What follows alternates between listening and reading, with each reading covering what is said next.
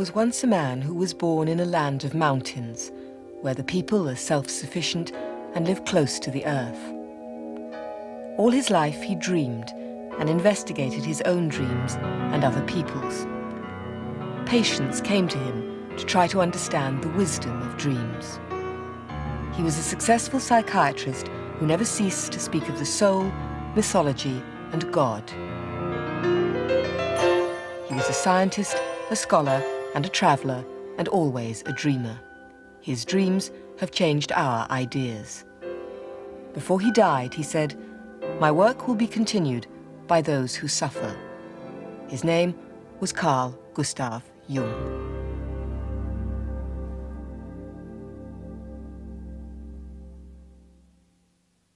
The American psychoanalyst Dr. Joseph Henderson first met Jung in the 1930s. It was more, more wonderful than I had expected even, a wonderful man to work with, tremendous uh, uh, uh, experience to work with, to, to meet Jung.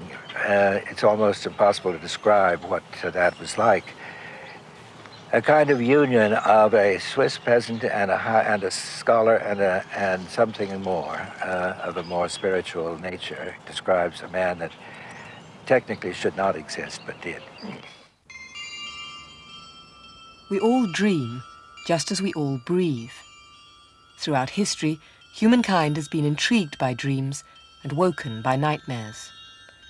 More than any man or woman before him, Carl Jung worked to understand where dreams came from and what meaning or purpose they had. Jung's task was immense, to define and understand the conscious and unconscious human personality. The whole personality of man is indescribable. His consciousness can be described His unconscious cannot be described right. because the unconscious, as I must repeat myself, is always unconscious. Yeah. And is really unconscious. it really does not know it. Does not know about it. And so we don't know our uh, our unconscious personality. We have hints. We have uh, certain ideas, uh, but uh, we don't know it really. Nobody can say where man ends. That is the the beauty of it, you know. Yeah. It's it's very interesting. Yeah. Uh, the unconscious of man can reach God knows where. There we are going to make discoveries. Jung made a host of discoveries. His work begins in dreams, but it lives in the real world. He was a scholar whose determination to understand his own dreams has given millions of people around the world a new insight into their own psychology, their dreams, and their relationships. Jung himself used to retreat from his family and his patients to the tower which he built for himself on the shore of Lake Zurich at Bollingen. The tower became the focus of his introspection and his creativity. Here at Bollingen, Jung found a piece of land that was really alone and untouched and did not have that sense of being encroached upon by neighbors.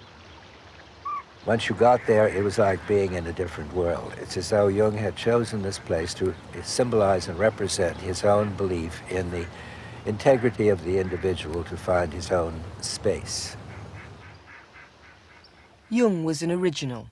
He was also a loner, even in childhood. In his autobiography, written when he was in his 80s, he said, I played alone, daydreamed, or strolled in the woods alone and had a secret world of my own. The pattern of my relationship to the world was already prefigured. Today as then, I am a solitary, because I know things and must hint at things which other people do not know, and usually do not want to know. Jung's work began with the experiences of his own inner life. His dreams led him to pursue medicine and psychiatry. His analytical psychology was never a scientific theory, but was the result of observing the inner life of his patients and the human quest for meaning through religion and mythology of all cultures. This house in Kusnacht, near Zurich, was where he studied, painted, received visitors, and saw patients. One of those who arrived on his doorstep and became his patient and later an analyst himself was a 26-year-old American, Joe Wheelwright. We didn't choose our profession our profession chose us, but what we knew was that we were as neurotic as hell, and we better run, not walk, to the nearest analyst. In those days, nobody went into analysis with the thoughts of becoming an analyst themselves. I tried by trial and error all these different things, music and teaching and all that stuff and writing. And, uh, and all the bells were ringing and, uh, and the green lights were flashing. And I realized that this was my calling. This, this was it. This is what, I, what uh, I call God Albert, and this is what Albert had in mind for me, you know. Uh, and uh, I better go along. And so I said, I, I, uh, I would like to, uh, to be an analyst. And Jung threw his hands up and he said, oh, God. It happens over and over again. And the patients say, oh, yes, I want to be, do what you do.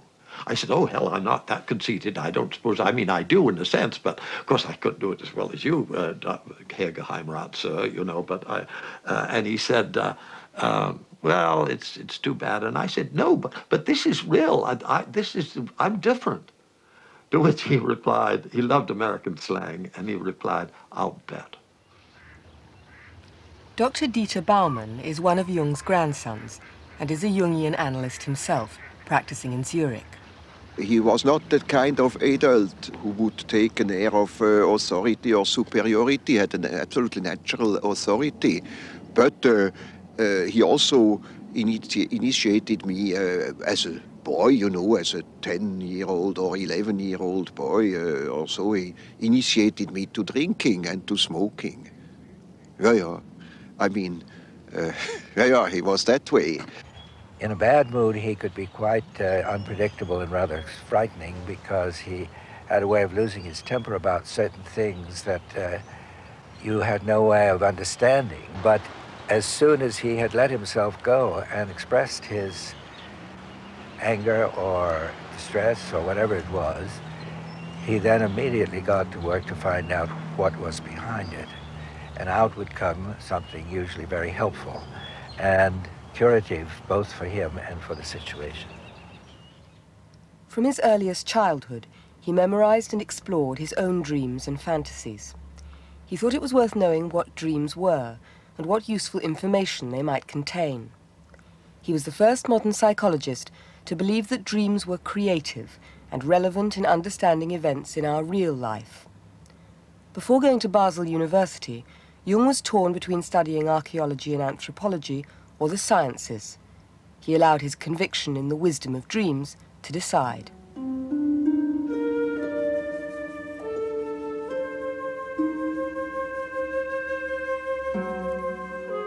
In the first dream, I was in a dark wood that stretched along the Rhine.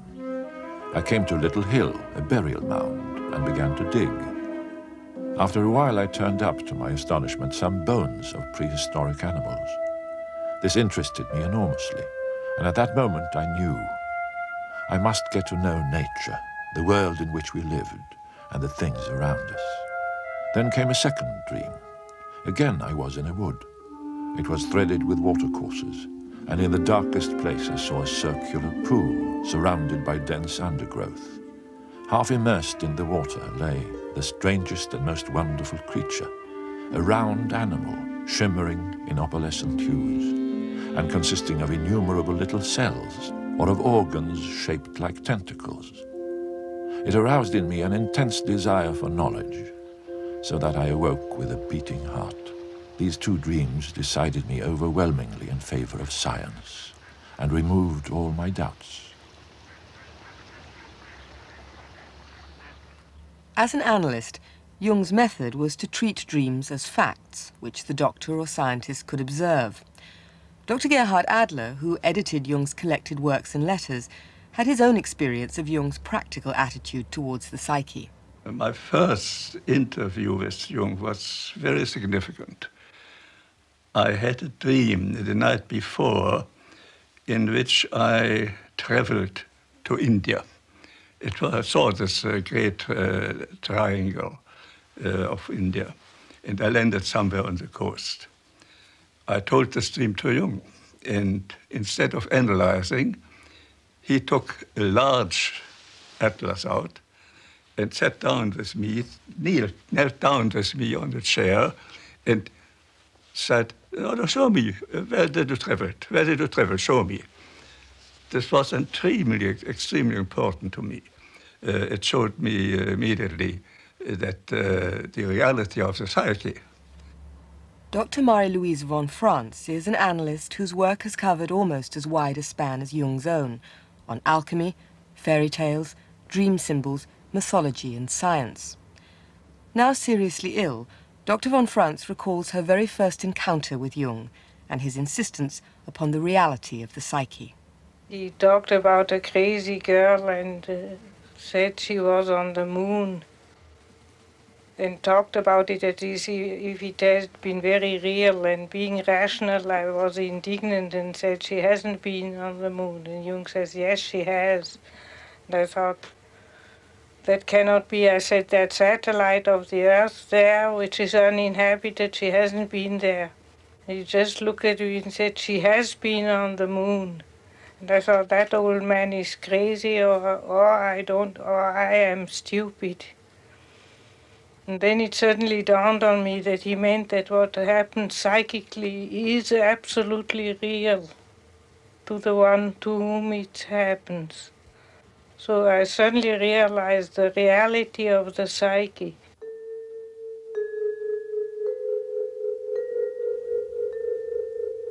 The girl was 18 years old and came from a cultivated family. At the age of 15, she had been seduced by her brother and abused by a schoolmate. From her 16th year on, she retreated into isolation. She told me that she had lived on the moon. As a result of the incest, she felt humiliated in the eyes of the world, but elevated in the realm of fantasy. The consequence was complete alienation from the world, a state of psychosis. She became extra mundane, as it were, and lost contact with humanity.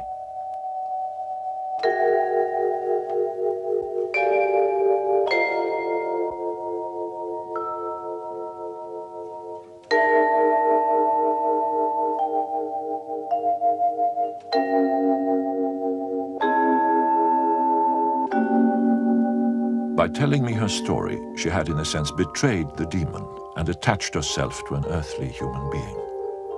Hence, she was able to return to life and even to marry.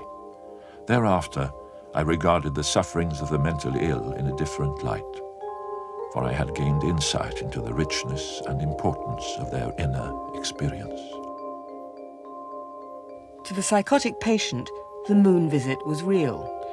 By taking it seriously and forming a human bond with the girl, Jung enabled her to return into the world of concrete reality from which she had fled. Ultimately, the psychosis subsided. Jung's approach to the reality of the psyche was innovative and unique.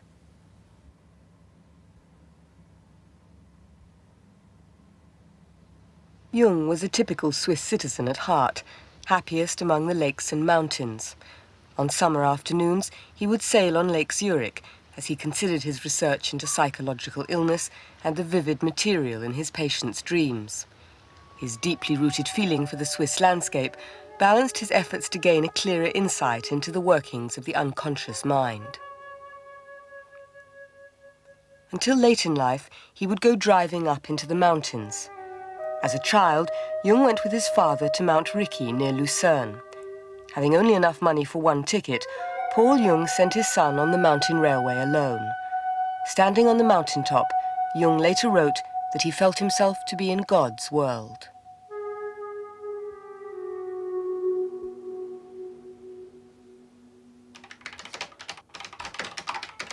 The reality of the psyche underpinned all Jung's work, and such was its impact that it brought new words into our everyday language. It was Jung who first used the terms extrovert and introvert, and the word persona for the mask which hides our true self. He coined the word synchronicity for his theory of meaningful coincidence. With Freud, he alerted us to our complexes and made us aware of an unconscious dimension beneath concrete experience. He defined the unconscious thus. Davon spricht man überhaupt gar nicht. Everything of which I know, but of which I'm not at the moment thinking. Everything of which I was once conscious, but have now forgotten. everything perceived by my senses, but not noted by my conscious mind. Everything which, involuntarily and without paying attention to it, I feel, think, remember, want, and do. All future things that are taking shape in me and will sometime come to consciousness. All this is the content of the unconscious.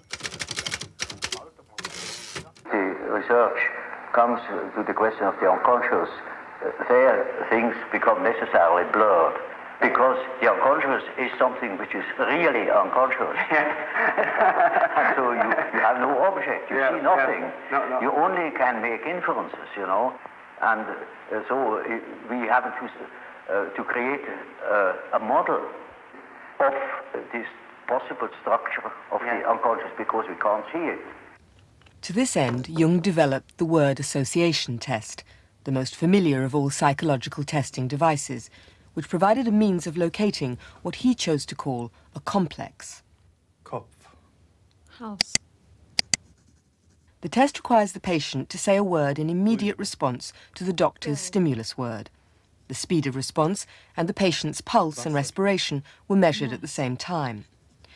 Jung's innovation was to consider why some test words cause patients to hesitate or to become anxious. And then I began to study these places in the experiment where the attention or the capability apparently of the test person began to waver or to disappear.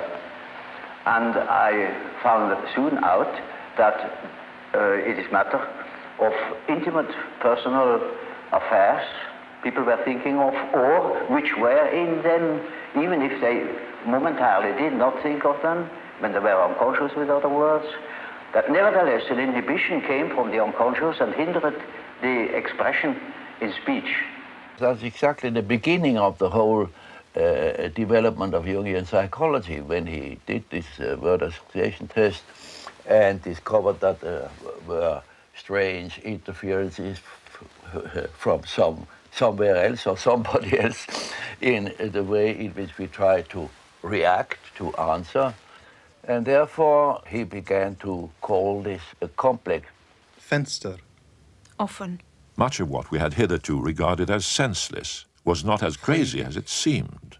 More than once I have seen that even with such patients, there remains in the background a personality which must be called normal.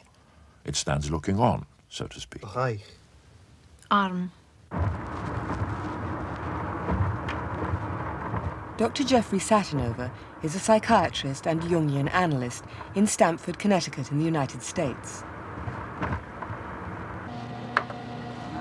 With computer technology, he can measure the functioning of the brain far more precisely than Jung was able to do 80 years ago.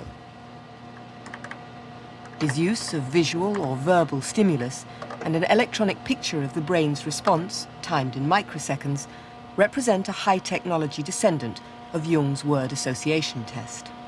Basically, what Jung did with the word association experiment was use a stimulus and then measure physiological responses as they correlated to psychological responses.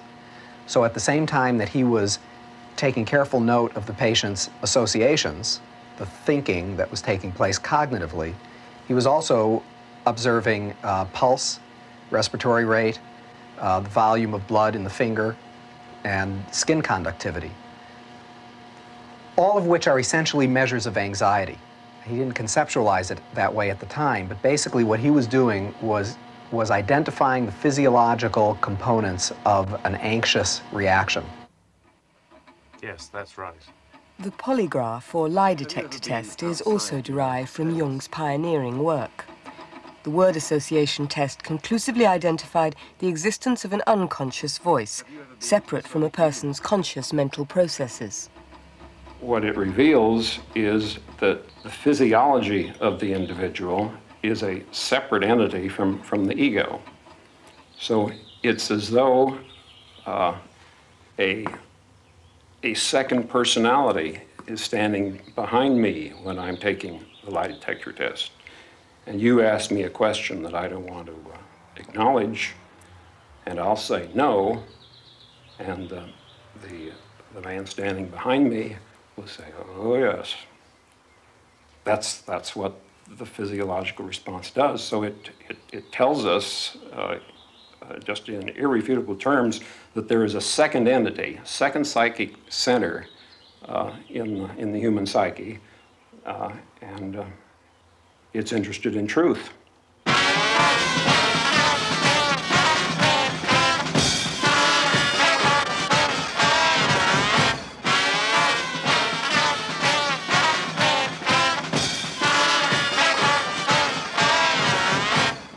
Psychological truth is revealed in dreams, too, and in rituals like the annual Fastnacht.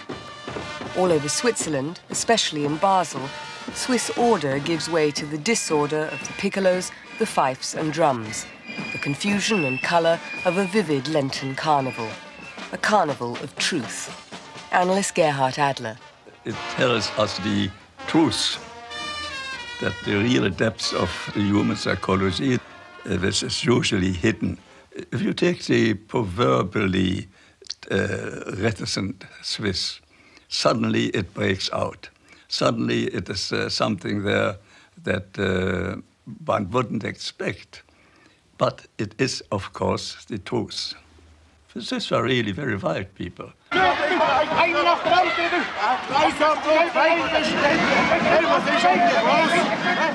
For the proverbially reticent Swiss, Fastnacht is a license for misbehavior.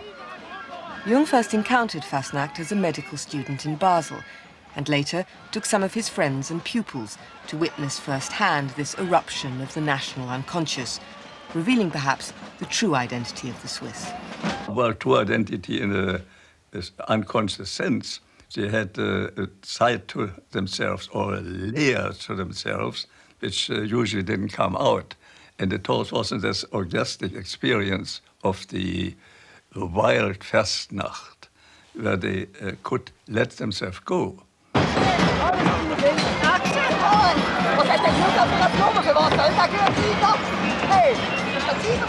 For Dieter Baumann, as for his grandfather Jung, the Fastnacht scene was an appealing, free expression of the Swiss unconscious. At a given point, uh, I think it has also to do with my age, uh, I, I bought myself a, a, piccolo and I started to practice and then uh, uh I went, I started to go.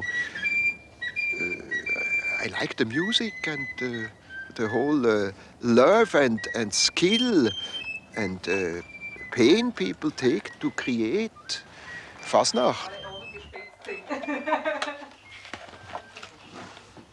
In Basel, dozens of studios are devoted to the painstaking craft of styling and painting new masks each year. Jung made the psychological observation that in daily life, in every culture, people wear a kind of mask, which he called our persona. The original meaning of the Latin word persona was an actor's mask. So the persona is partially uh, the result of the demands society has. And on the other side, it is a, a, a compromise with what one likes to be, or with what, or as one likes to appear. Uh -huh. Say. Yeah. Now, this is not the real personality, in spite of the fact that people will assure you that it is, that is all quite real and uh, quite honest, yet it is not. Now, uh, such a uh, performance, or uh, say, the, the, performance of the, uh, of the persona uh, is quite all right as long as you know that you are not identical with the way in which you appear. A ritual like Fastnacht allows the unconscious truth of the individual personality to emerge. At Fastnacht, everyone is masked. In their masks, they may insult their friends or colleagues by telling them the kinds of truths which for the rest of the year they might suppress. It is the opposite of the mask which we normally wear in order to take our place in the world. We were masked all the time and we had to get behind the mask. We had to realize that we had the mask persona was also, uh, on the other hand, something necessary because we can't uh, jump with our true being at everybody. We have to be uh, careful. When Jung's party visited Basel, they got up at three in the morning to witness the Morgenstreich. As four o'clock approaches, In the February cold, all the streetlights are turned out, and as the cathedral bells strike the hour, lanterns are lit, the bands begin to march and to play their fife and drums. With each band clashing against the others, the traditional pagan music drowns out the cold, and the lanterns swirl their satire in the darkness. This is the Morgenstreich, which ushers in three days of Fastnacht revelry.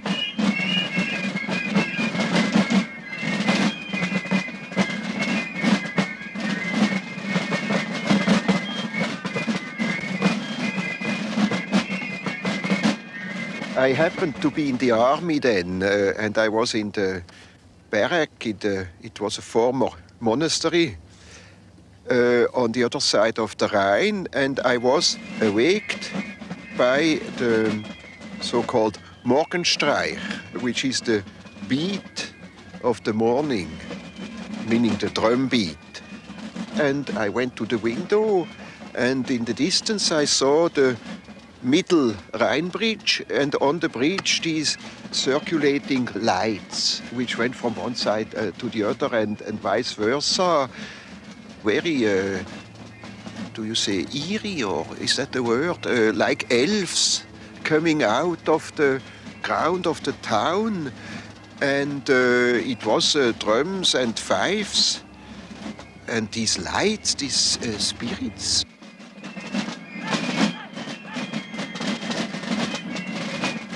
In the early hours, the streets are filled with the noise and images of a crowded dream.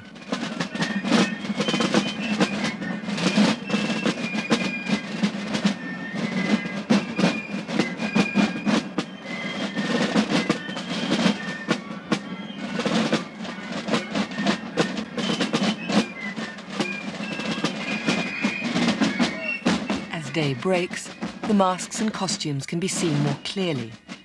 The carnival weaves its way through the streets like an impromptu congress of fairy tale characters. As the light comes up, so the dream fades. Masks are discarded or replaced by the more familiar mask of persona, allowing Basel's everyday business to resume for the morning as if nothing has happened.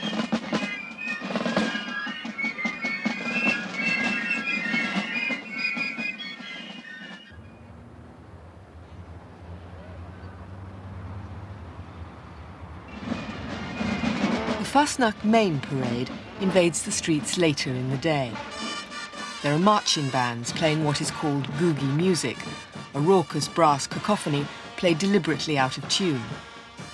The participants belong to cliques, which every year decide upon a theme for their masks, their lanterns, and the huge heads which lead the bands through the streets.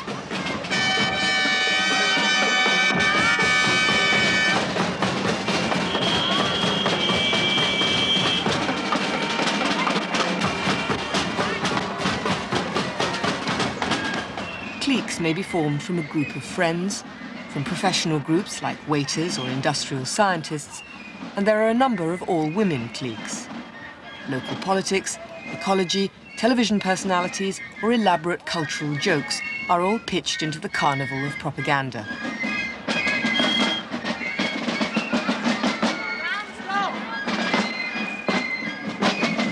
What is particularly interesting, I think, about the Basler Fasnacht is that there are so many so-called Waggis. The figure of the Waggis is the Alsatian peasant. They have a, a very earthy character, I, I, should say, and a very funny and, uh, of course, very grotesque. And I have the impression nature here reminds psychically that actually we are peasants and should take care of the earth. To Jung's grandson, Dieter Baumann, the Waggis reflect a lost sense of connection to the environment. To Jung, such ritualized performance expressed the true primitive unconscious beneath the technocratic persona of Switzerland and of Basel. It is the spirit of the dead who, who become alive again. It's the ancestral spirit. One cannot really explain it, uh, but an aspect is certainly that the unconscious comes out. And on one hand, it is a reconnection with the heathen uh, past and uh, with the natural uh, past. And I think the Fasnacht is a unconscious religion.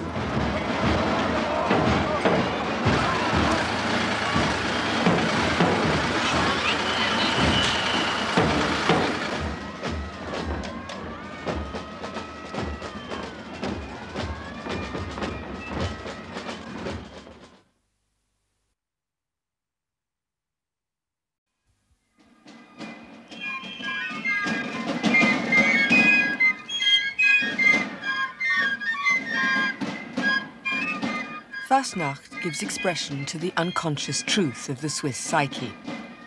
Unconscious religion is a theme which became prominent in Jung's ideas in later life.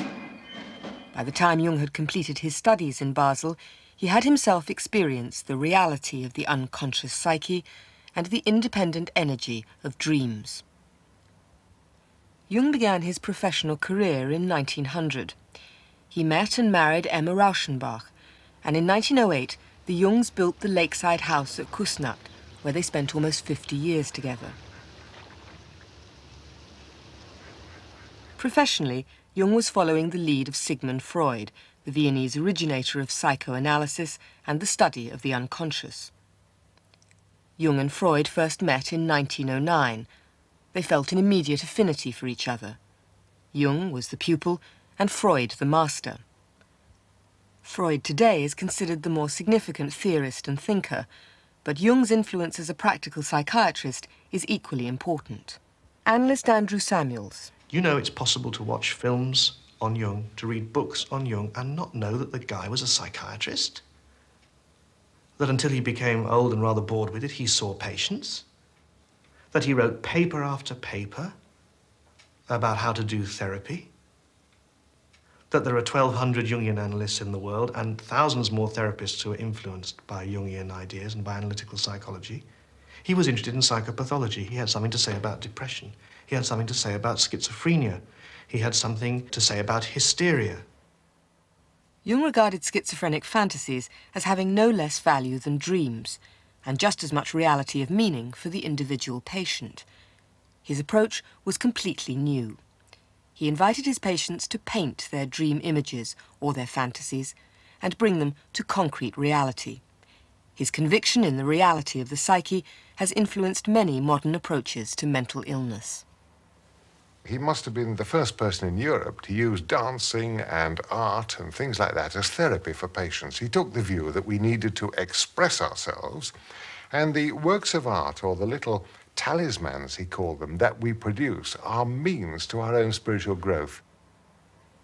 Jung saw the unconscious as creative and independent. Freud thought it just contained what the conscious mind repressed. The more Jung investigated the unconscious, the less he could agree with Freudian theory. After my uh, association experiments, when I realized uh, that there is obviously and unconscious. Uh, the question is, now, what is this unconscious? Does it consist merely of rests, of remnants of uh, conscious activities, or are there uh, things that are practically forever unconscious? But In other words, is the unconscious a factor in itself? And I soon came to the conclusion that the unconscious must be a factor in itself um, because I observe time and again that, for instance, uh, uh, or um, uh, schizophrenic patients' uh, delusions and fantasies uh, contain the motives which they couldn't possibly have acquired uh, in our surroundings. Jung and Freud were very different men with different approaches. Their split followed Jung's most original and controversial discovery, that of the collective unconscious, an idea which, characteristically, he deduced from a dream.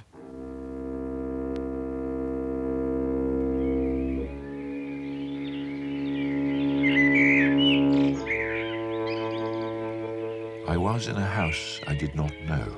It was my house. In the upper story, there was a kind of salon furnished in Rococo style.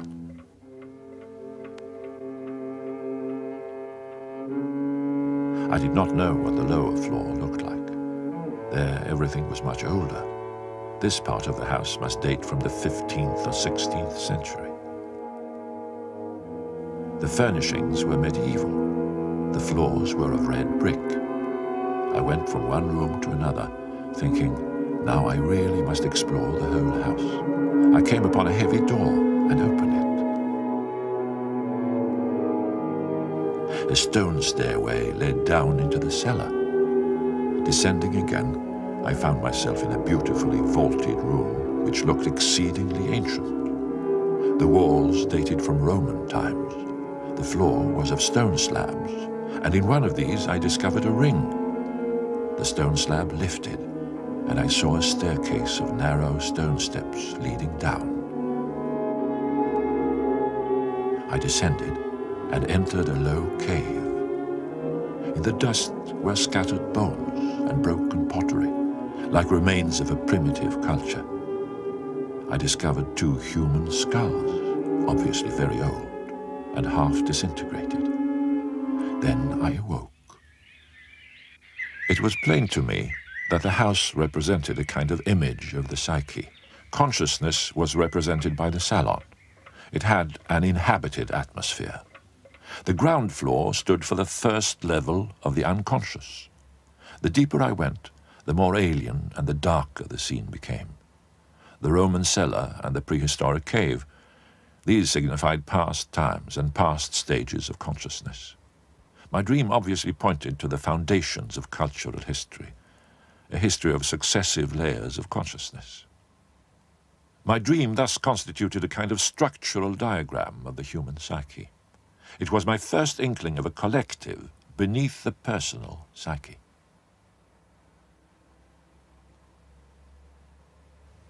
To Jung's followers, his discovery of a collective unconscious is critical.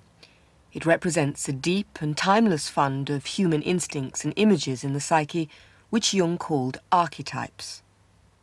This linking up of the cutting edge of psychological investigation with archaic thinking, with a kind of mental archaeology, this is fascinating to me, and it's really important for several reasons.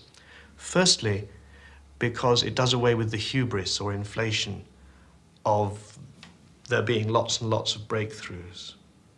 And secondly, because the continuity of human ideation, thought, culture seems to me very important, particularly in our age, which in every sense is atomizing.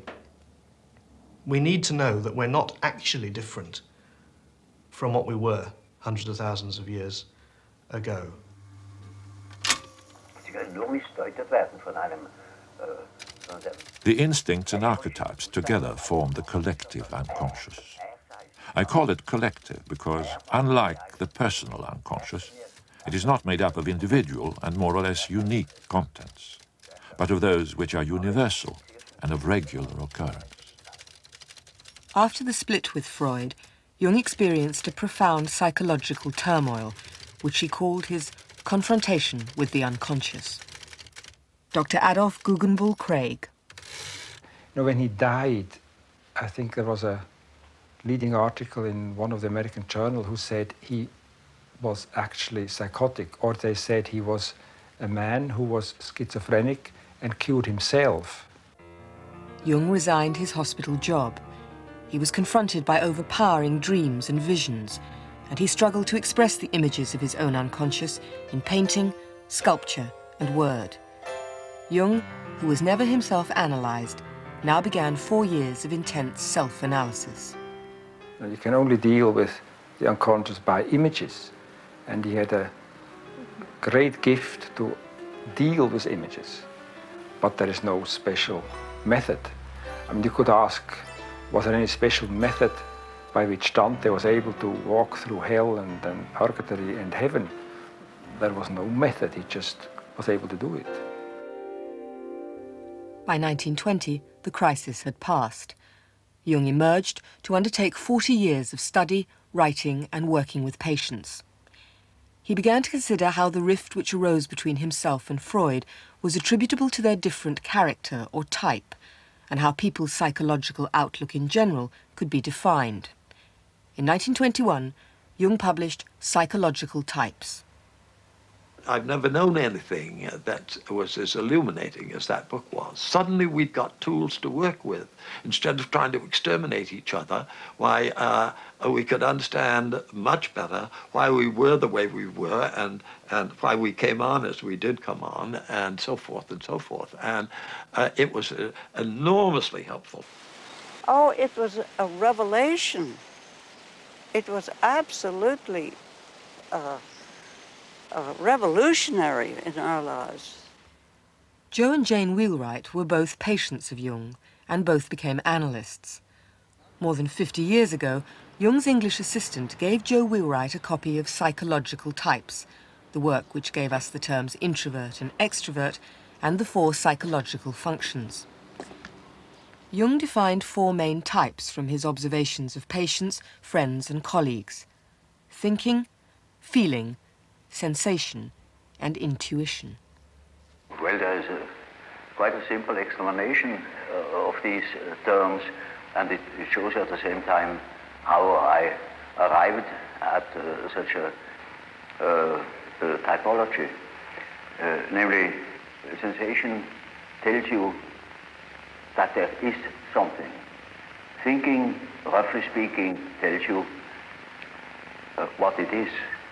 Feeling tells you whether it is agreeable or not, mm -hmm. to be accepted or not, accepted or rejected. Yes. And intuition out there is a, a difficulty. You find them intuitive types, for instance, amongst bankers, mm -hmm.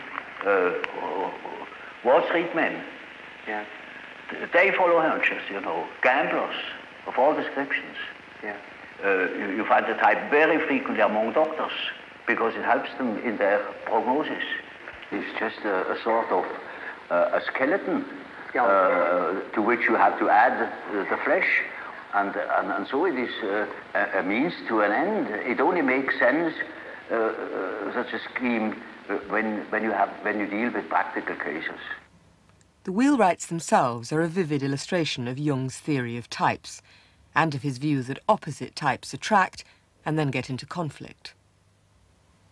Everybody knows that women feel and men think. I mean, that's on page three of any book that you pick up. Uh, well, in our family, it happens to be t'other way of which. I can't think my way out of a paper bag, and my wife has an absolutely first-class mind. Women are supposed to feel, and men are supposed to think. Joe did the feeling, and I did the thinking until so we were upside down.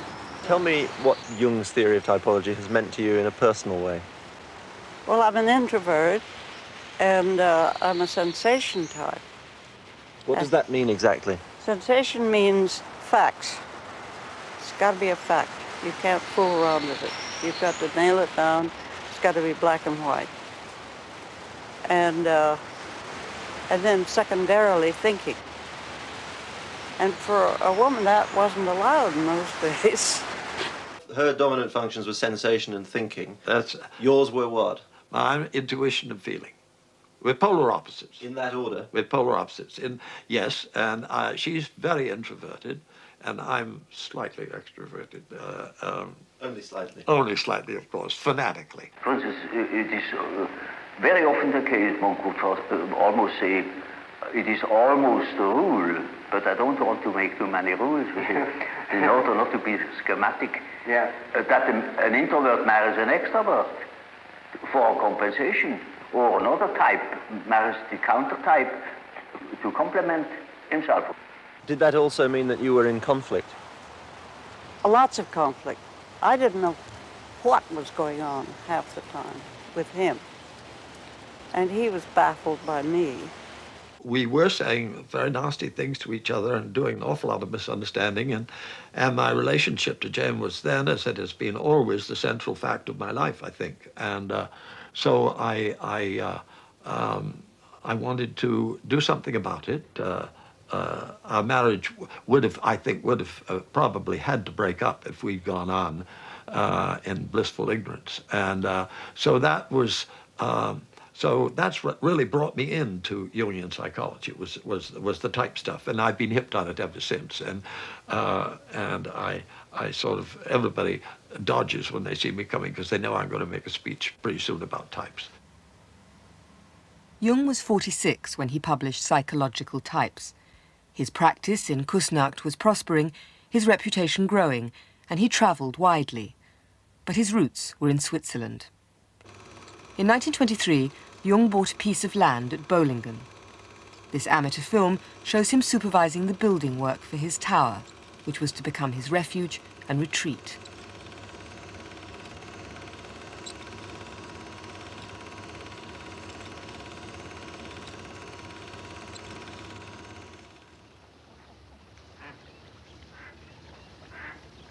Jung's classical scholarship and his skills as a craftsman left their mark on the tower, giving shape and expression to images and symbols from his own dreams and his fertile unconscious.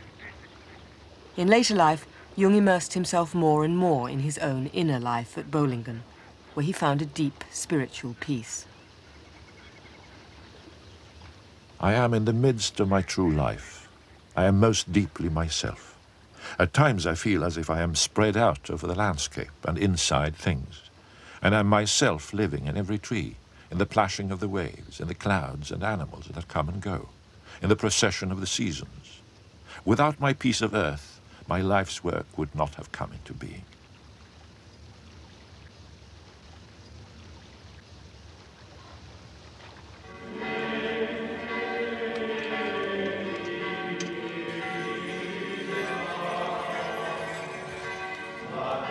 Jung's father was a Protestant minister, and Jung himself found religion to be an inescapable reality of the human psyche. A few miles from Bollingen stands the Benedictine monastery of Einsiedeln, with its mysterious Black Madonna. Jung was a practical scientist who regarded the soul and the spiritual as realities of inner experience.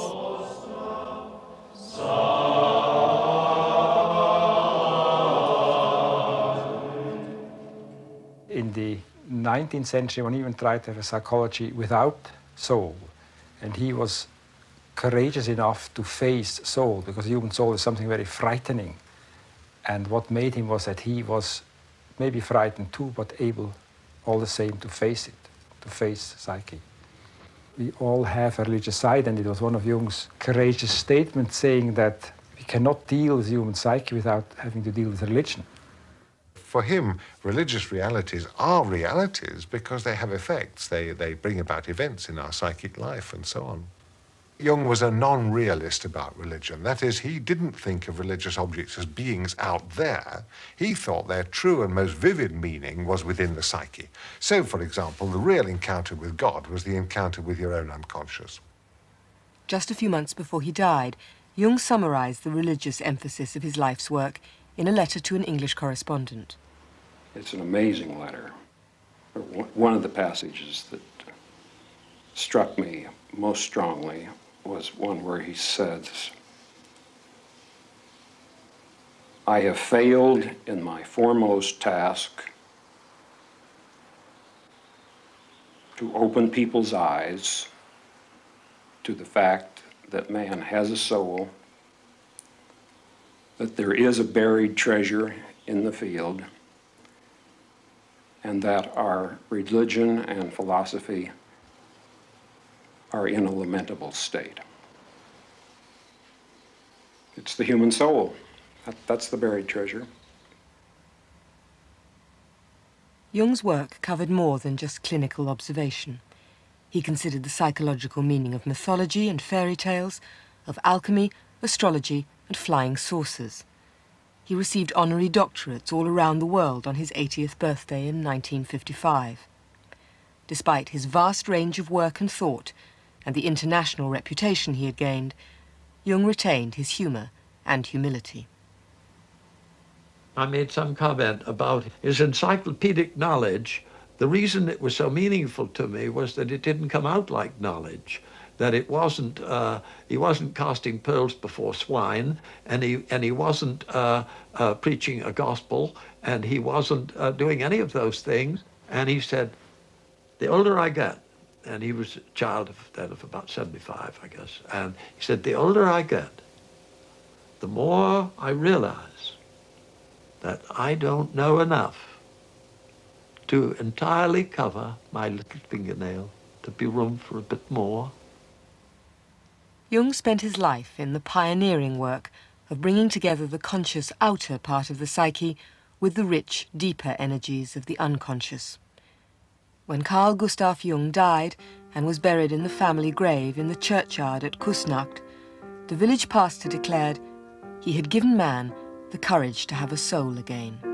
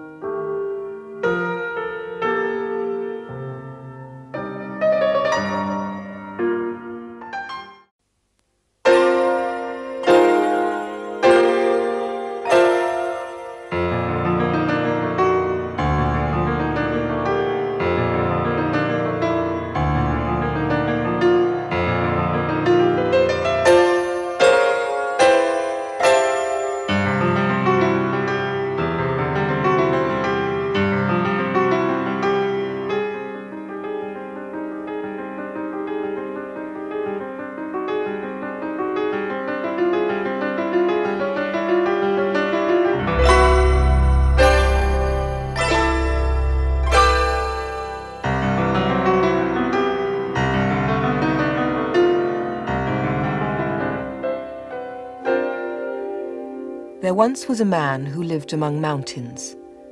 All his life he dreamed and investigated dreams and legends. He studied other countries, other cultures, and other ages. He was a traveler, a scientist, and a scholar. His dreams have changed our ideas. His name was Carl Gustav Jung.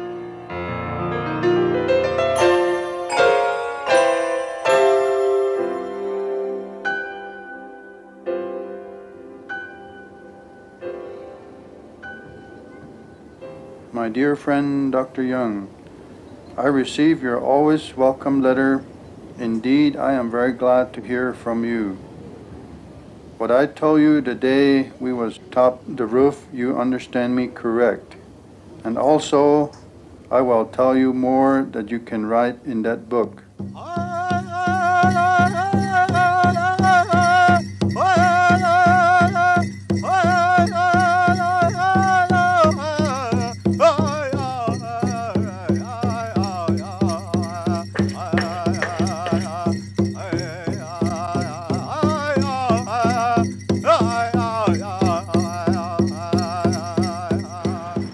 For the traditional Indians, the mythology is part and parcel of their whole social system.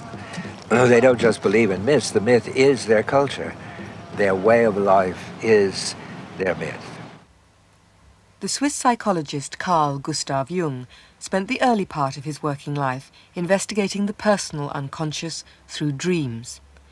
But he devoted the second half of his career to researching what he called the collective unconscious, which connected people of different cultures at the deeper level of dreams, ritual, religion, and mythology. The author, Count Nikolai Tolstoy. It would be very hard to explain, uh, it seems to me, for the universality of certain myths, which repeat themselves and sometimes in, in um, or very often, in uh, strikingly similar detail in very different um, cultures and societies. And I don't see how that could be explained unless there's something springing up, so to speak, from uh, universally within men, which Jung gave this um, term, the collective unconscious. The concept of the collective unconscious is absolutely essential for understanding Jung. I can't say it was his invention, but it was his discovery. The collective unconscious is that set of building blocks from which human reality is made.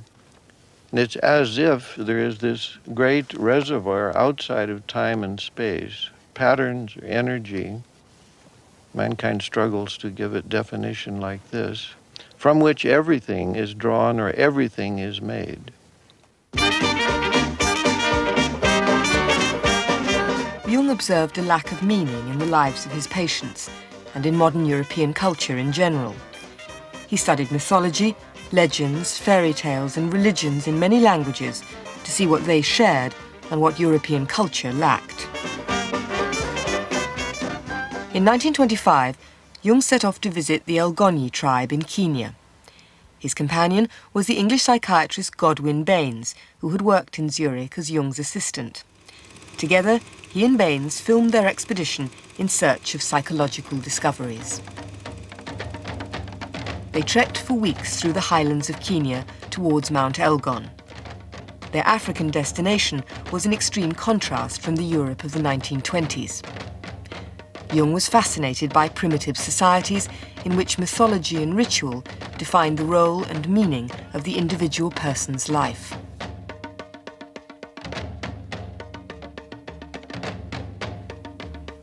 Jung was 50 and white-haired. The African tribesmen honoured him with the title Mzee, or Old Man. They were as fascinated by the white European doctor as he was by them. He had learnt some Swahili and as always, he asked everyone he met about their dreams and the importance they gave to dreaming. Dr. Joe Wheelwright. His visit to Africa certainly helped to inform him on the subject of dreams and to differentiate between what he called big dreams and little dreams. And this had to do with whether the dream was from the collective unconscious, from the deepest layers, or whether it was from the personal unconscious because a big dream came from the collective unconscious and was really universal in its import. Jung's expedition party spent six weeks living among the Elgonyi. In conversation with the elders of the tribe, Jung asked them about their religious practices and their dreams. In particular, the Swiss doctor of medicine conferred with the Laibon, or medicine man. He answered with tears in his eyes. In old days, the Laibons had dreams and knew whether there is war or sickness, or whether rain comes, or whether herds should be driven. But since the whites were in Africa, he said, no one had dreams anymore. The divine voice which counseled the tribe was no longer needed, because the English know better.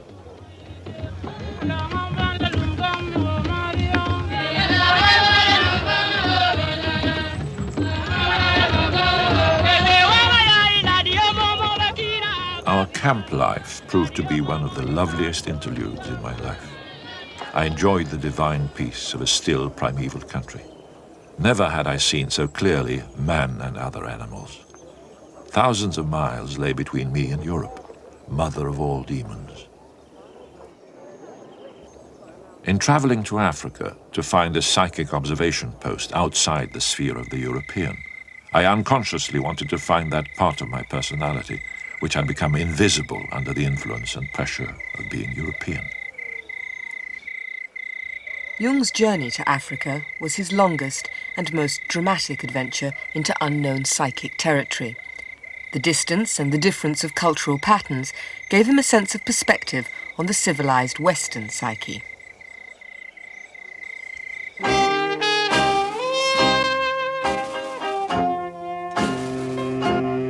Jung had first visited the United States with Sigmund Freud in 1909. Three years later, his reputation in America growing rapidly, Jung was invited to visit St. Elizabeth's in Washington, D.C., then, as now, the principal psychiatric hospital in the United States. He wanted to discover whether black patients there had the same sorts of dreams as white Europeans, a question no one had ever asked before. Unlike the men and women at St. Elizabeth's today, the patients of 75 years ago had never been asked about their dreams. When Jung talked to them, he found that the dreams, fantasies and artwork of Negro patients reminded him of his European patients' dreams, and that both contained ideas and images found in ancient mythology. In all probability, the most important mythological motifs are common to all times and races. I have, in fact, been able to demonstrate a whole series of motifs from Greek mythology in the dreams and fantasies of purebred Negroes suffering from mental disorders. Back in Switzerland, Jung put his observations to use in the work to which he always returned, that of healing the psyche. Through my acquaintance with many Americans and my trips to and in America, I have obtained an enormous amount of insight into the European character. On my next trip to the United States, I went with a group of American friends to visit the Indians of New Mexico, the city-building pueblos.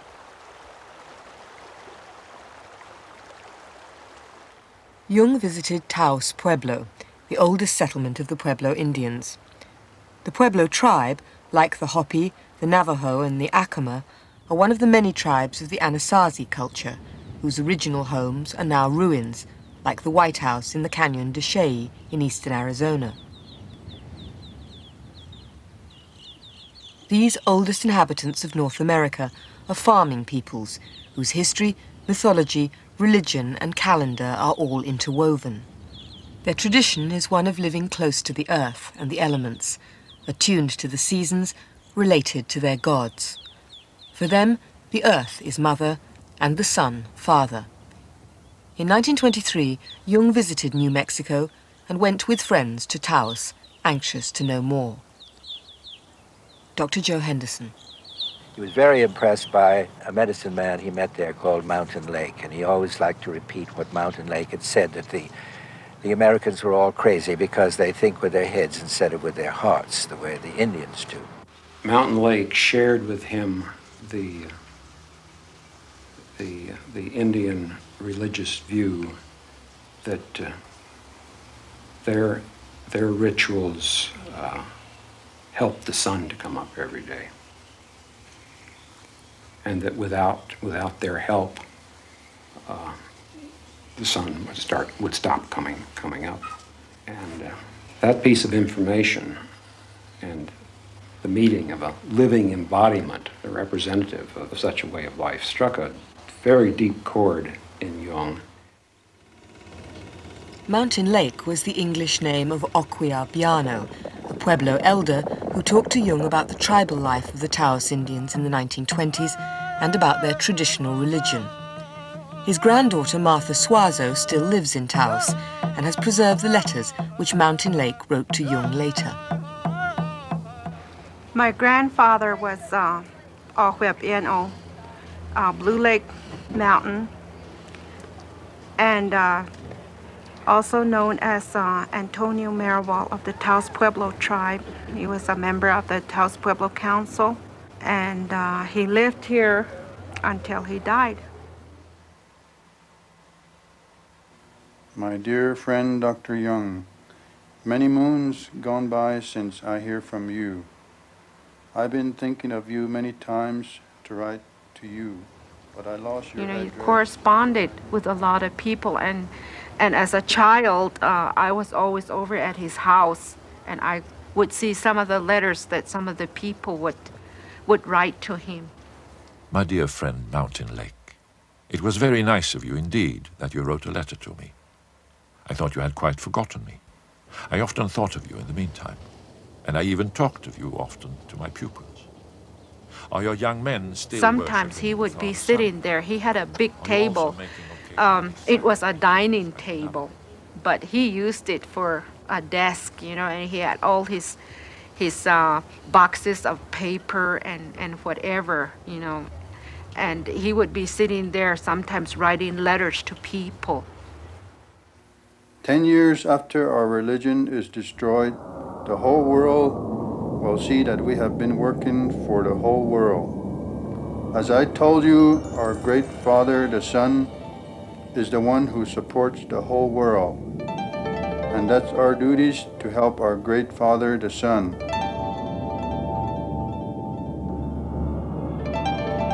I really don't know maybe to what depth he told Jung, but uh, he he made an impression on him, and Dr. Jung made an impression on my grandfather. My old Pueblo friend thought that the raison d'etre of his Pueblo had been to help the sun to cross the sky. I envied him for the fullness of meaning in that belief. That was my grandfather's philosophy that if our Taos Pueblo Indians stopped practicing their religion, He said, give or, or take 10 years that the whole world would end. After all, that's what's keeping this world going. In 1963, Jung's grandson Dieter Baumann, also an analyst, followed in the footsteps of his grandfather to Taos to meet the elderly Indian who had had such an impact on Jung. It was very moving because, I mean, uh, 40 years before, uh, my grandfather had met him and uh, he could remember very well and uh, showed me that they had talked there on the roof uh, with each other. And I, I found him a very, a very fine man, a very special man he was very intelligent and uh, he had a very soft face, also very human, profoundly human. I think had a very deep feeling.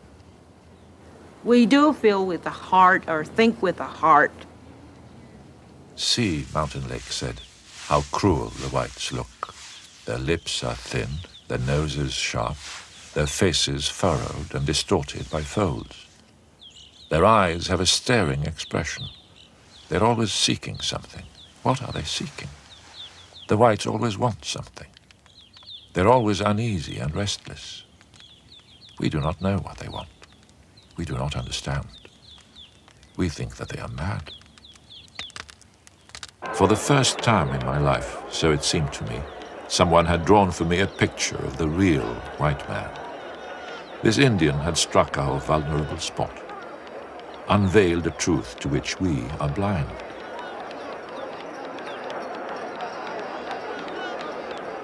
Indian religious rituals have two main forms. Ritual dances to honor the gods and to assist in the successful progress of farming and harvesting, and chants by medicine men. The chant can last as long as nine days and is used for healing both physical and psychological illness.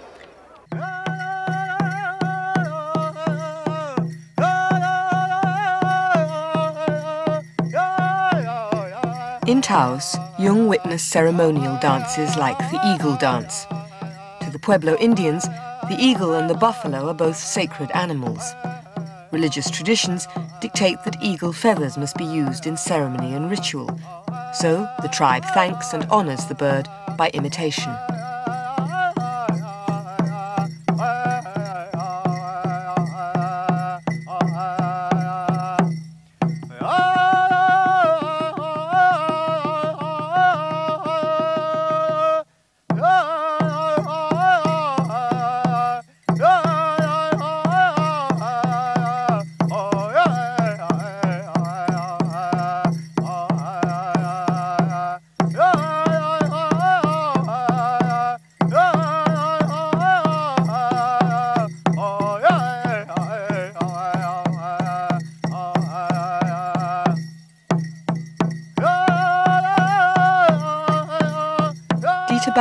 Also saw Indian rituals.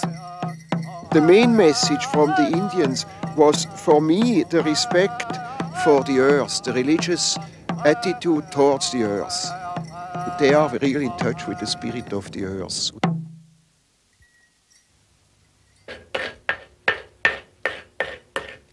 Lily Salvador is a traditional Indian potter in New Mexico. That rock was left here for my mother by her mother. She had used it to grind either corn or what I did was grind the powdered shards and our clay on there to make it real fine. The shards are from in the hills. When we take a hike, we find them and we bring them back because they're used back into our clay, used as a temper. So it's an old and a new pot put together.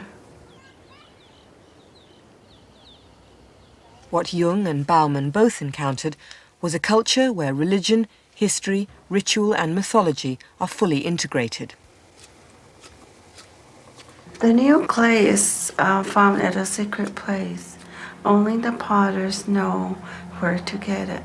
And there's no road to it, so we just have to carry it on our backs. I don't think if anybody else, like um, the Anglo or anybody else, if they learned how to form the pot, they won't have that feeling of the clay or just the touch of our ancestors there.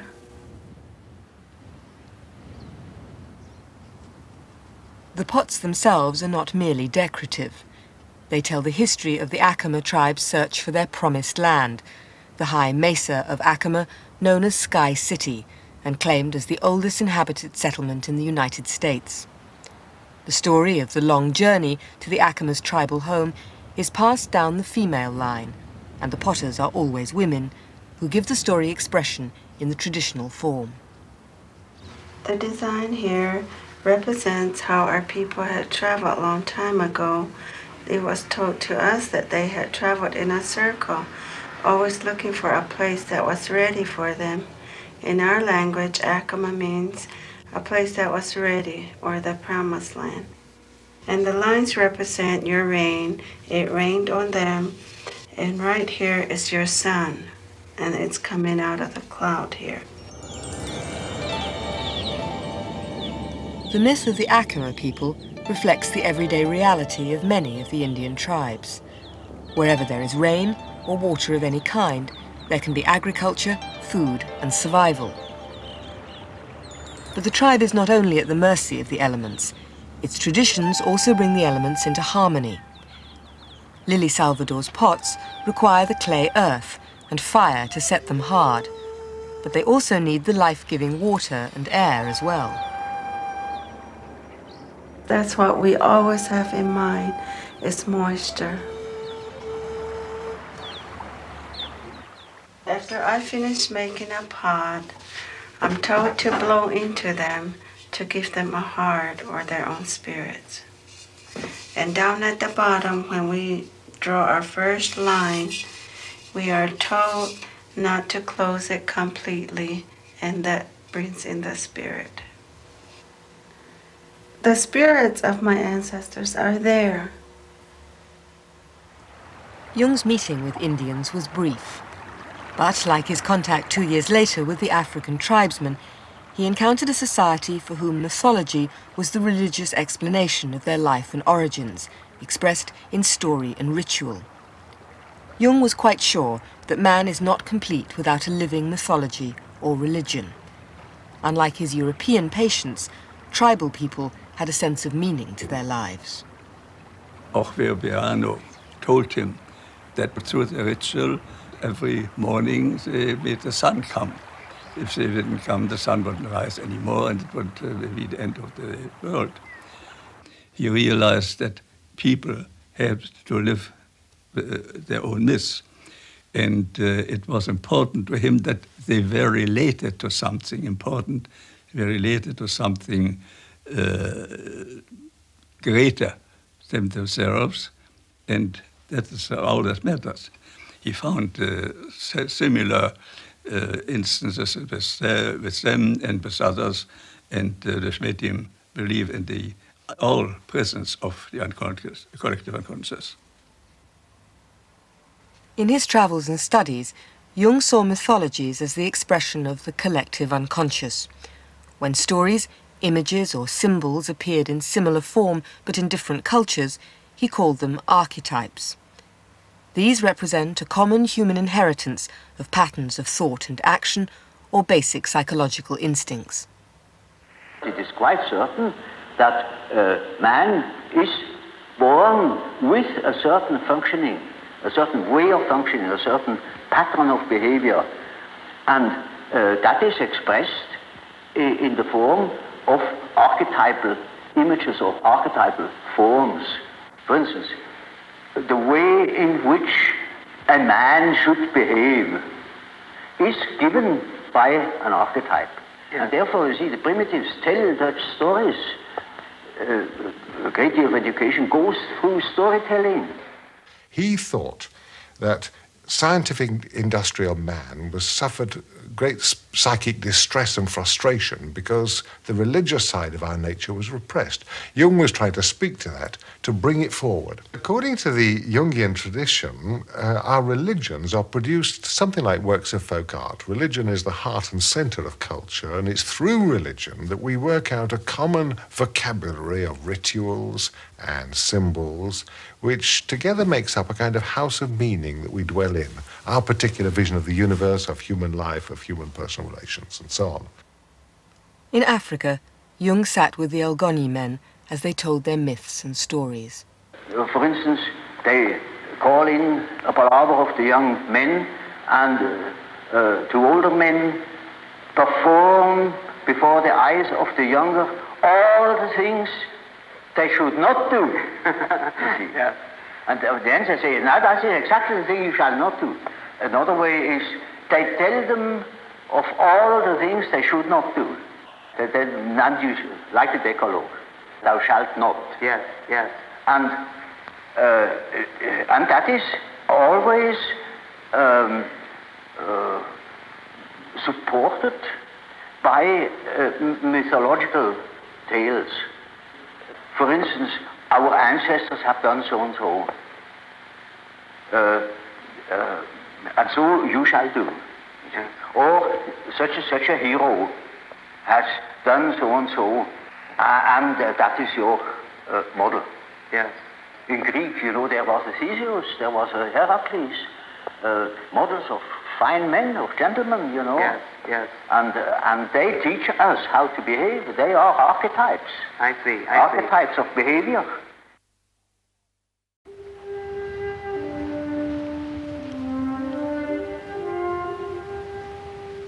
In his research and travel in Africa, America and Britain, Jung absorbed mythological material, and above all images, to relate to his patients' dreams and the images of their unconscious. And everywhere he found evidence of the collective unconscious.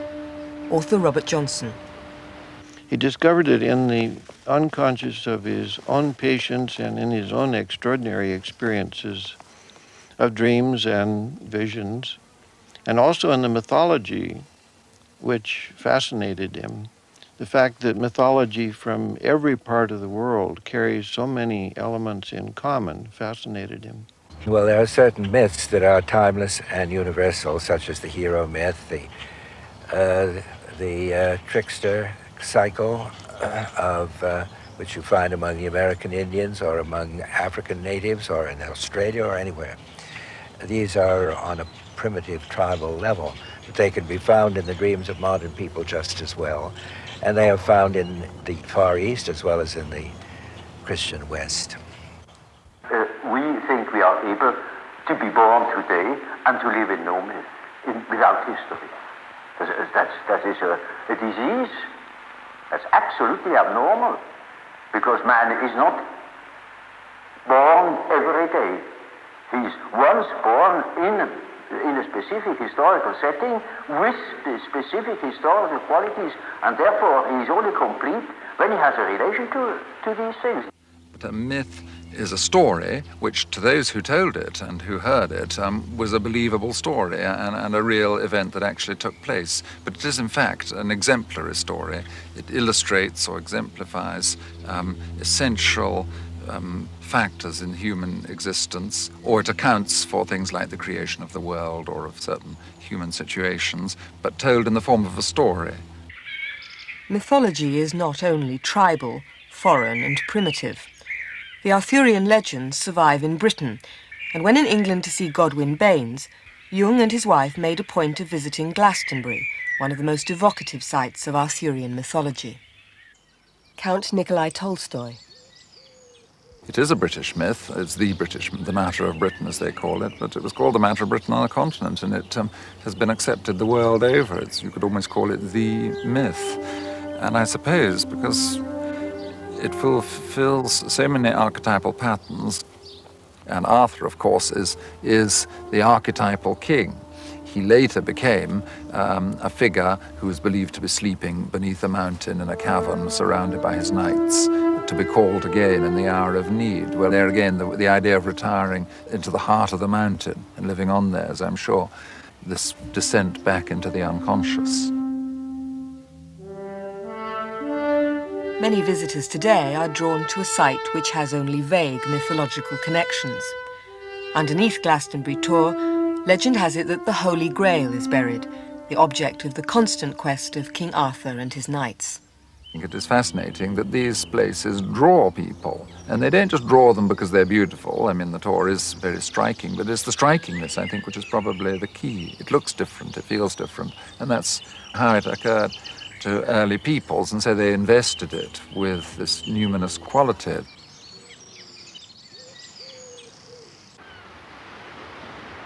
Tintagel Castle in Cornwall is Arthur's supposed birthplace, where Merlin discovered the infant king to be washed up on the shore.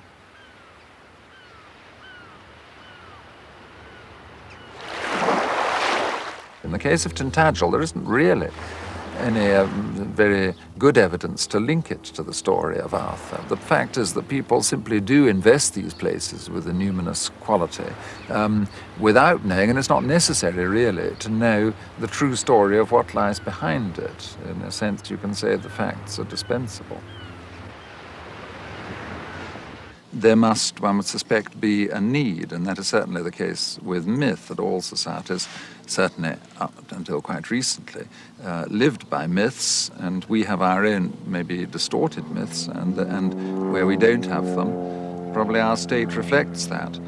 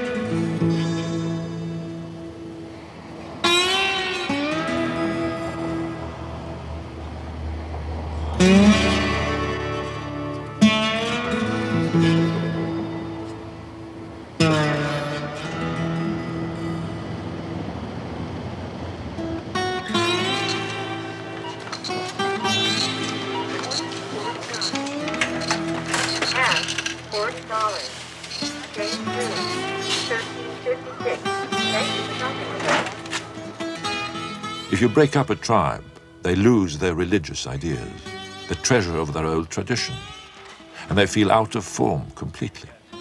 They lose their raison d'etre. All the meaning goes out of their life. It does not make sense anymore, because we infect them with our own insanity.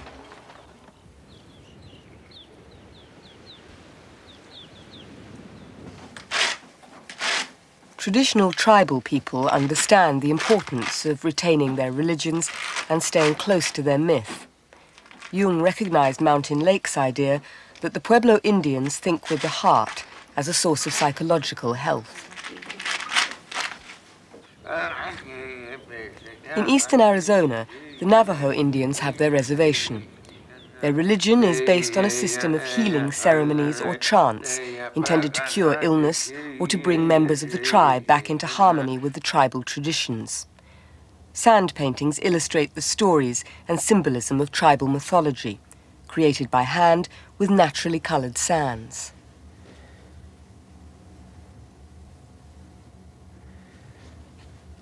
Many Jungian psychologists have followed Jung's footsteps to visit the Indians of New Mexico and Arizona. For Donald Sandner, the interest is in the Navajos. For 15 years, he has studied their ceremonies and drawn certain parallels with Jungian psychology.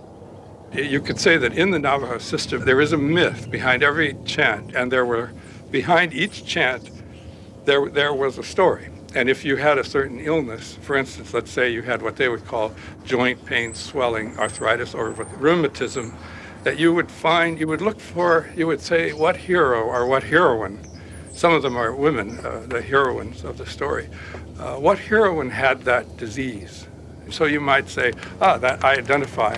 You would be identifying already with her. So you would choose that chant.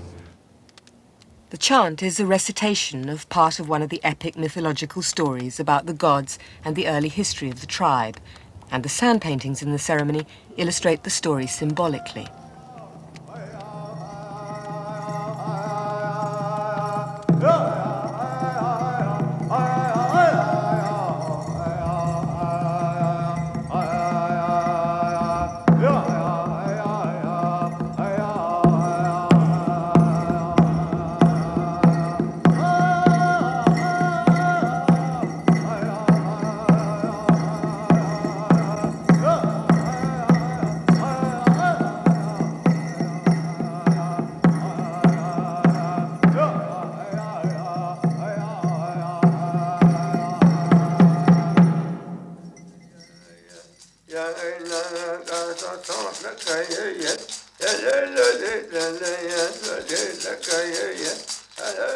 Patient comes in and he identifies by sitting on some part of the sand painting, he identifies with that power in the sand painting.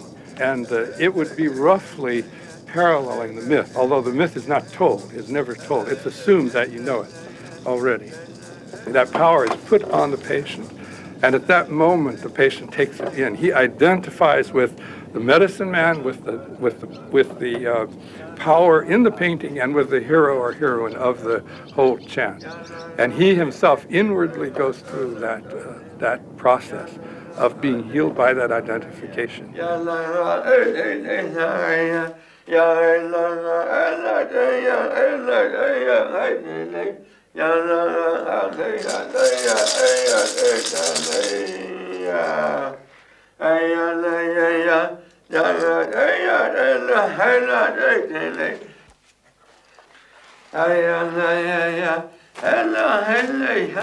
In the Navajo, they, they say that if the patient doesn't believe and actively, he has to not only believe, but actively concentrate on what's going on.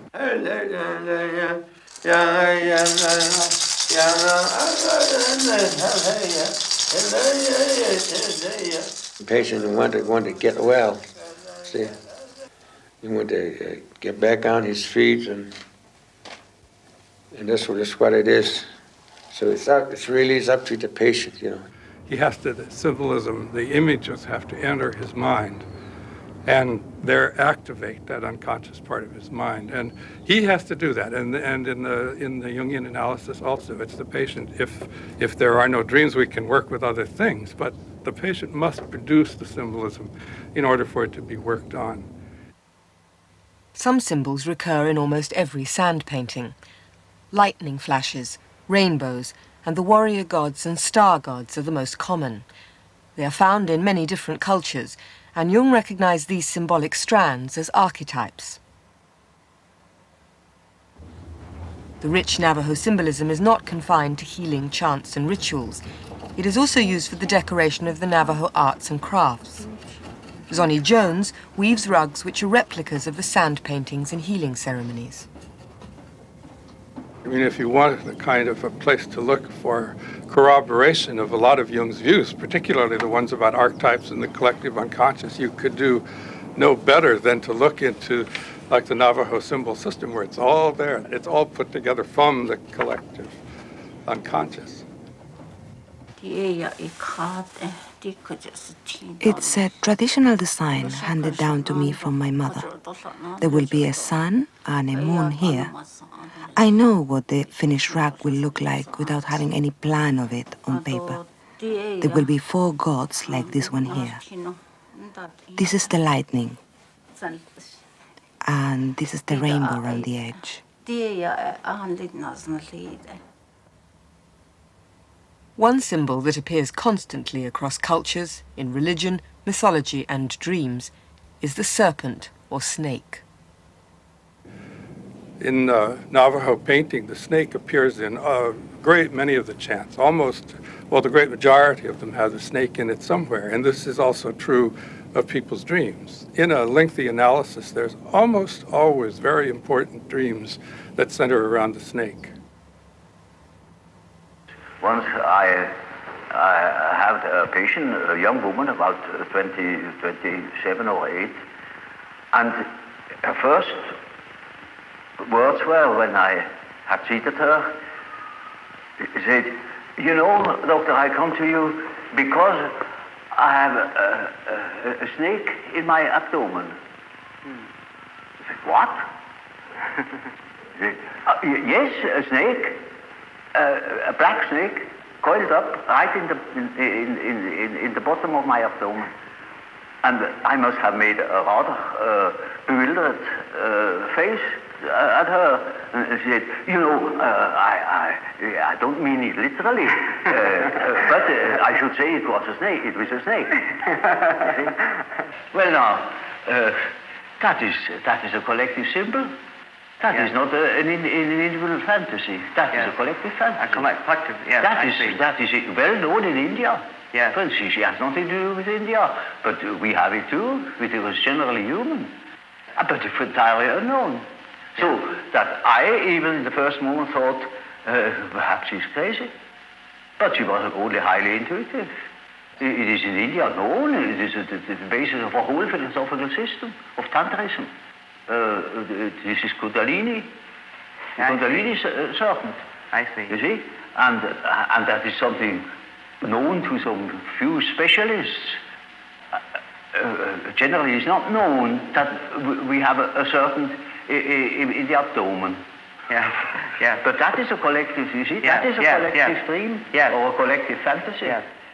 Well, the snake is one of the best uh, symbols of the unconscious itself because it seems so far away from human consciousness and feeling. it seems to have a, an autonomous life of its own, and therefore it just it inspires fear, but at the same time it inspires curiosity and a kind of uh, beauty that uh, relates it to the possibility of a sort of earth wis- wisdom. So Jung thought it uh, represented the kind of lower nervous system, the spine and the, the, the lower parts of the brain stem. So that that was the snake, that, that deep, unconscious, cold, sort of inhuman power that governs us, even when we don't know it. The serpent is wise only because it doesn't close its eyes. You know, they have no eyelids so that they can't close their eyes. They seem to be uh, eternally awake and aware. And by projection, man might think that he could also acquire that kind of awareness. The symbol itself, such as these things we've been talking about, these snakes, these animals, these uh, things you uh, dream about, have a power of their own that can be healing. Besides his travels and scholarly research, Jung's true work was the healing of his patients in his house on the lake at Kusnacht. Jung left no case notes of the patients he saw for analysis, but at the Jung Institute in Kusnacht there is a large collection of the paintings which he encouraged his patients to produce, extending and illustrating the dream images of their unconscious. Michael Edwards is the curator of the archive the clue to the healing or the, the way into the work was really through the imagination. And so he would encourage his patients to amplify and make more of um, their material because the unconscious seems to work in images. It's if that's the language of the unconscious, and therefore, for the person consciously to work with their images in a spontaneous way would put them in touch with themselves whether in single images produced by patients or whole series of paintings, parallels with sand paintings and other mythological or religious images can be seen. The symbols individually have force, and the patient creates a mythological narrative in pictures. I think I have certainly learnt from Jung that the role of the image, even if it's an image as imagined, that it has an authority, that the image is not something simply in order to make a clever psychological diagnosis and then throw it away, but the image has power and value of its own.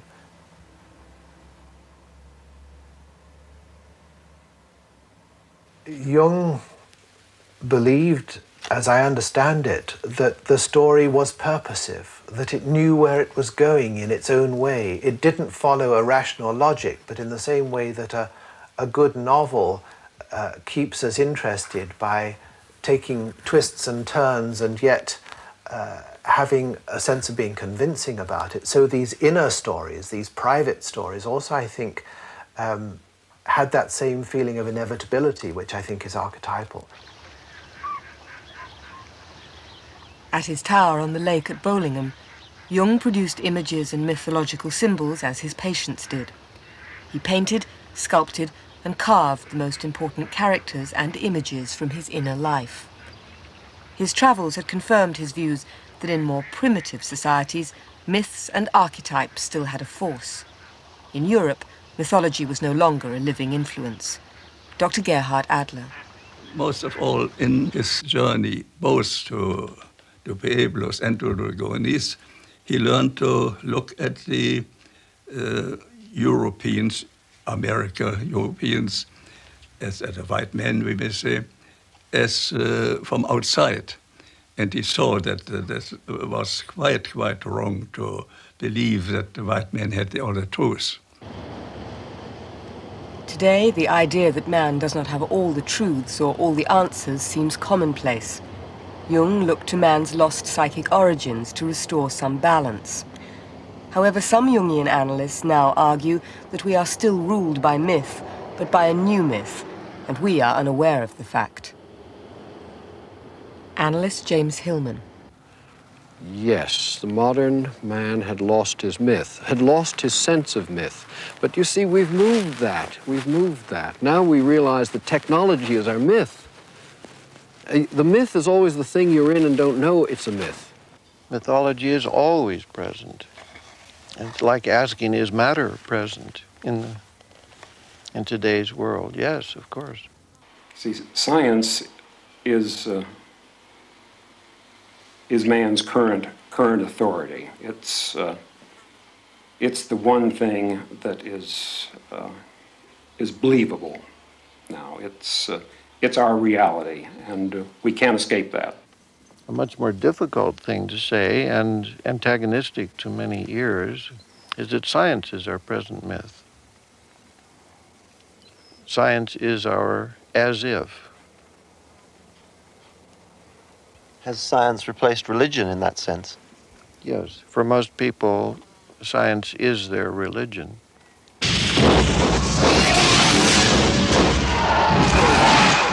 The same thing applies to science fiction. It's a modern mythology. And I think it's safe to say that science fiction, in, in all its various uh, forms and variations, does have one basic recurring theme. It's the theme of extraterrestrial intelligence in one form or another. There, it has a multitude of, of, forms it can take, but that's the basic idea. And uh, that's highly significant uh, psychologically because it, it demonstrates that the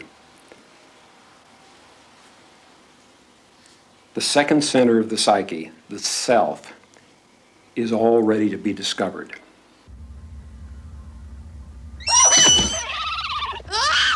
For San Francisco analyst John Beebe, the massive appeal of science fiction films like the Star Wars trilogy comes from combining the archetypal fantasy of extraterrestrial life with characters which represent our own contemporary culture.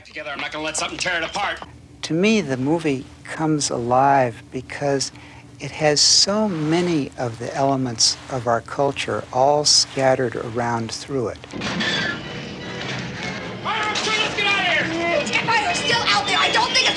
Discuss this in committee. I am not a committee. The uh, princess is a little bit like uh, a rather pert but very nevertheless uh, uh American uh, women's lib kind of kind of princess. And uh, then, of course, we have the uh, R- R2D2 and uh, the butler uh, as a kind of Laurel and Hardy. And, of course, uh, we have uh, the Cowardly Lion. And um, young, uh, kind of uh, sparky, spanking clean young, uh, young hero questing.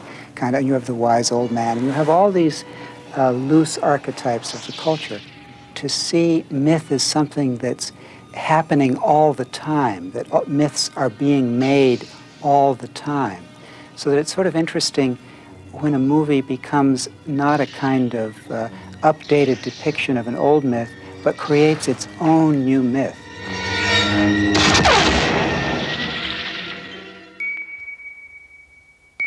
As we send our spacecraft beyond the solar system, carrying coded communications from the human planet. Perhaps science fiction expresses the idea that humankind cannot, after all, rely on the intellectual, conscious life alone. Analyst James Hillman sums up Jung's travels as a way of learning through first-hand experience what the European psyche had allowed to become hidden. Remember, always Jung has a theory in his actions. And the theory was that the cultural overlay disguises archetypes more than it reveals them. That was part of what Jung was doing with his travels. And there's no, no doubt that it's, uh, you see things you don't see in our ordinary culture. Old Mountain Lake said to me, We are the people who live on the roof of the world. We are the sons of the sun, who is our father. We help him daily to rise and to cross over the sky. We do this not only for ourselves, but for the Americans also. He correctly assumes that their day, their light, their consciousness, and their meaning will die when destroyed by the narrow-mindedness of American rationalism. And the same will happen to the whole world when subjected to such treatment. We've lost certain ancient myths or connection to the world as mythical, but we're still living myths. We can't, we can't ever step outside of a myth. We're in one now. We're in one in television as a myth. We're in one. And it carries us as we, whatever we're doing. And to declare myth only something that people tell each other around the campfire or dance naked to or paint themselves purple is not what, that's not the whole story of myth. Myth is what captures your imagination and moves your language and your body in, into doing th things in certain ways. So we're always in myth.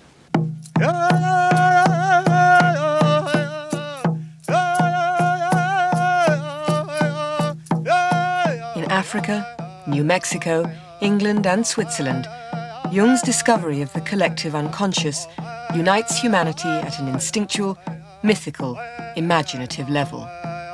What he intuitively knew and confirmed among African tribes and on a Pueblo rooftop, conscious life is constantly forgetting.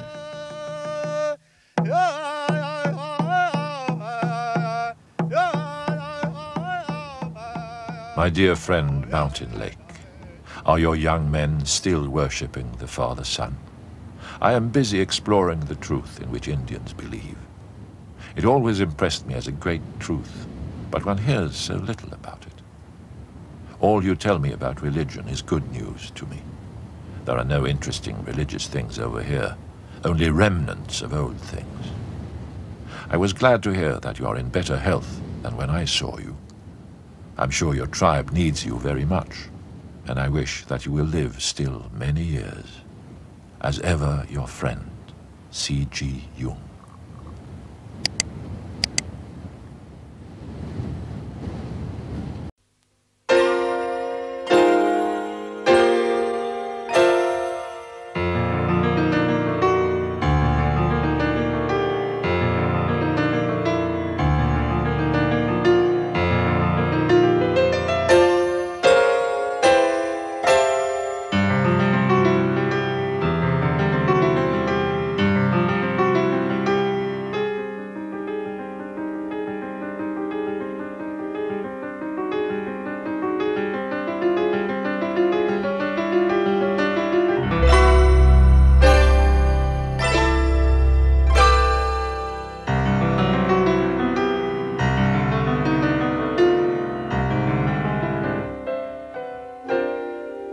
Once was a man who lived among mountains.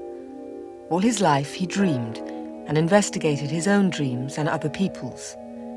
He was a psychiatrist who talked about the soul, a scientist and a scholar, a man committed to finding meaning in our everyday lives.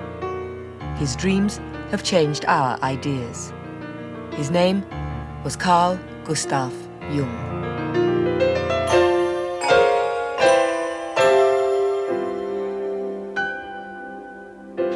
Wrote the first introduction to Zen Buddhism. He began with Greek mythology, or didn't begin, but at least brought it in. He, uh, you know, the gods and the goddesses, the myths. He was concerned with the American Indians. He visited them. He was interested in synchronicity. He was interested in astrology. Um, and he wrote on all these subjects and had lots of good things to say about them. What's the value of your dreams? In the everyday world? What's the value of your fantasies in the everyday world? These are enormously important, the sense of having, of being a mess of complexes. Jung gave us all that. It's a cliche to talk about now the meaning of life or something being meaningful or not meaningful. And I think Jung, in a way, is responsible uh, for this kind of, of cliche. Carl Gustav Jung's work brought dreams and the unconscious into the modern world and introduced a respect for the psyche in human affairs. In 1957, aged 82, Jung gave his first film interview. His thoughts touch upon universal questions, from love, marriage and relationships to international hostilities. Characteristically, Jung expressed his political thoughts in terms of the psyche. Nowadays, particularly, the, the world hangs on a thin thread. Yeah. And that is the psyche of man. We are the great danger. The psyche is the great danger. What if something goes wrong with the psyche? yeah. See? Since his death in 1961, Jung's ideas have become increasingly influential. His work in the world has been extended into the psychological study of war and war trauma, architecture, alcoholism and drug addiction, the stock market, aging, senility and death, even movies and movie stars. In many countries, especially the United States, Jungian psychology is tackling new themes. For San Francisco analyst John Beebe, it's the movies. Whenever uh, you see a film uh, uh, in a dream, someone is watching a film or going to the movies, that's a not uncommon uh, dream image. Um, I think it means that um, uh, we're looking at a situation that has been thoroughly studied. It's been uh, cut and edited, so to speak, and honed in on and presented for us, and it's a completely understood situation now. And if we just watch it through, we will have a complete sense of what it is. In the book that was compiled from a series of his seminars on dreams, Jung himself spoke of the psychological vitality of film. The movies are far more efficient than the theatre. They are less restricted. They are able to produce amazing symbols to show the collective unconscious, since their methods of presentation are so unlimited. Because in our own individual life, we only get a chance to see perhaps one little piece of a whole archetypal pattern. But in a movie, we can have the whole pattern laid out for us in a couple of hours. And in a great enough film, there's really a sense of having been translocated from one's own personal experience and the little pit that one has experienced to something truly universal. And I think that's what the, the archetype can do. It's sort of a, a ticket of admission um, to a broader perspective. The patients who came to consult Jung at his house in Kusnacht varied widely, from American heiresses and the German writer Hermann Hesse to the founder of Alcoholics Anonymous. Dr. Jeffrey Satinover. Basically, the motive for starting Alcoholics Anonymous came out of a patient of Jung's experience. And Jung's communicating to that patient the idea that essentially he was not going to ever successfully get over his alcoholism if he did not find God. The official history of Alcoholics Anonymous traces the group's origins to Jung's diagnosis of the incurable alcoholic known only as Roland H. His craving for alcohol was the equivalent on a low level of the spiritual thirst of our being for wholeness, expressed in medieval language, the union with God. What people seek in addictive experience is something which in and of itself is normal. That, that is to say, the craving is normal. Craving for certain kinds of elation, for a certain sense of specialness, for heroism, for cessation of pain, and underlying all of those really, ultimately and, and most powerful, is the uh, seeking of a sense of meaningfulness. Dr. Jeffrey Satinover has established a clinic specializing in senility and Alzheimer's disease and addiction to drugs and alcohol. You've seen some of the early signs of it already. The therapy goes beyond the alcoholic or senile patient to include other family members what we hope an individual will gain from the psychotherapeutic dimension of substance abuse treatment is a way of finding meaning in their lives again. Because, as Jung correctly recognized, ultimately the, the key motivating factor in the beginning of an addiction is the seeking of spirit. When Roland H. first arrived in his consulting room, Jung told him that unless he could find a way to a religious or spiritual experience, his addiction was incurable. You see, alcohol in Latin is spiritus, and you use the same word for the highest religious experience as well as for the most depraving poison. The helpful formula, therefore, is spiritus contra spiritum. Dionysus uh, was not the god of drunkenness. He was the god of ecstatic vision. He was a god of wine, but that was the wine of religion, not the wine of drunkenness. For Robert Johnson, the Greek god Dionysus offers an insight into the modern epidemic of alcoholism. Johnson draws on mythology for fables of psychological reality. His latest book considers the gods of antiquity and our universal need for emotional highs, or ecstasy. It is basic, and if we don't get our ecstasy, which is an archetypal quality, in a legitimate way, we will get it in an illegitimate way, which accounts for much of the chaos of this culture now. We have to have an ecstatic dimension of our life.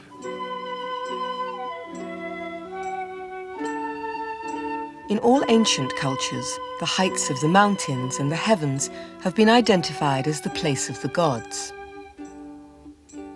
Moses received the Ten Commandments from his god on the mountain top. The Greek gods dwelt on Mount Olympus.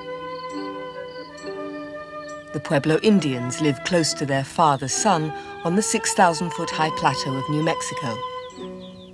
The metaphor of height applied to a mental state is, is universal. And when an individual seeks the experience of getting high, the implication is that they chronically, or as a matter of course, do not feel high. But the modern age has conquered all the heights and even invaded the heavens. Jung was dismayed. The gods have become diseases. Zeus no longer rules Olympus, but rather the solar plexus, and produces curious specimens for the doctor's consulting room, or disorders the brains of politicians and journalists, who unwittingly let loose psychic epidemics on the world. That's a quote from Dr. Jung. He said, when we dismantled Olympus, we turned the gods into symptoms. If there's not, this is only a restatement of a moment ago, if we don't get a particular archetypal quality legitimately, it will, so to speak, pop up somewhere in its symptomatic, that is, its compulsive form.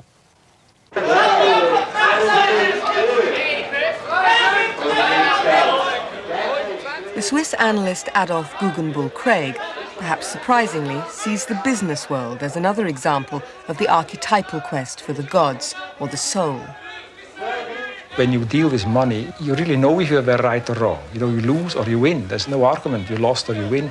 And it might give you then an elated feeling, nearly a religious feeling that you were on the right side, that you were so much in touch with the gods that you actually won. The speculators, the people who really only deal with money, they don't really deal with money as a thing to buy something with, but they deal with money because they want to get more gold or they want to get more soul in the end. I think the speculators speculate that they think they can get the life essence by having more and more money. The business world remains a masculine world. It was Jung's view that masculine, patriarchal values have produced a culture which neglects the soul and the balancing influence of the feminine psyche. Analyst Andrew Samuels. Jung intuited an imbalance in Western culture in favor of one whole style of psychological and behavioral functioning, in favor of analysis, in favor of logic, in favor of external achievement, in favor of social hierarchicalism and so forth. He asked what happened to the other side. He entered into reflection, both conscious and unconscious, at a time when, culturally, the role of women was changing and shifting. People began to protest and wanted the vote and so on. So he contributed to something which has become a movement of our times. I think the feminine stands against organization, for example, against organized religion. It stands against hierarchy, for example, class systems. It stands against an overdependence on logic and rationality, so that the hard sciences are challenged. It stands against an excessive dependency on technology, and so it espouses natural issues, an interest in ecology, in the environment. We women embody life. You men act upon life. That resonates psychologically, which means that we are constantly working with it in terms of our aims, our ideals, our understandings, and perceptions of what it's like to be ourselves now and in life. Jung observed that for every woman there was a masculine aspect within her psyche, the archetype of the animus, and for every man, a feminine counterpart, the anima. The anima is, is an archetype, uh, an archetypal form expressing the fact that a man has a minority of feminine or female uh, genes. Yeah. And that is something that doesn't appear, disappear in him. That is constantly present. And it works as a female in a man. The same is the case with the animus. That is a masculine image in a woman's mind, uh, which is not sometimes quite conscious, sometimes it is not conscious, but it is called into life the moment that woman meets a man who says the right things. And then because he said it is all true, and he is, he is the fellow. No matter what he is. Yeah. And the whole point is that the female ego has to be in charge of the animus. Now, that's not a, a generally accepted idea because the old hangover of you lean on men and men will somehow make your life interesting or something. And you just lose all your own ideas or innovations or creativity. And I think a lot of women are scared out of being who they are and doing whatever is important to them still. The animus to me is one of the most significant concepts that has arisen in Jungian psychology.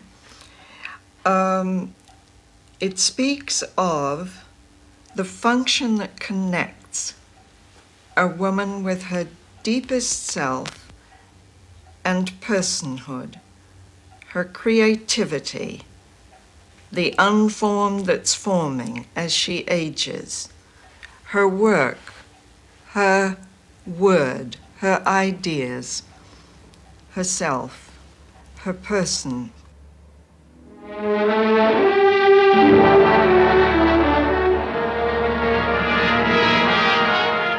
In the Alfred Hitchcock film Notorious, John Beebe finds a drama of the animus in the conflict between a woman and men.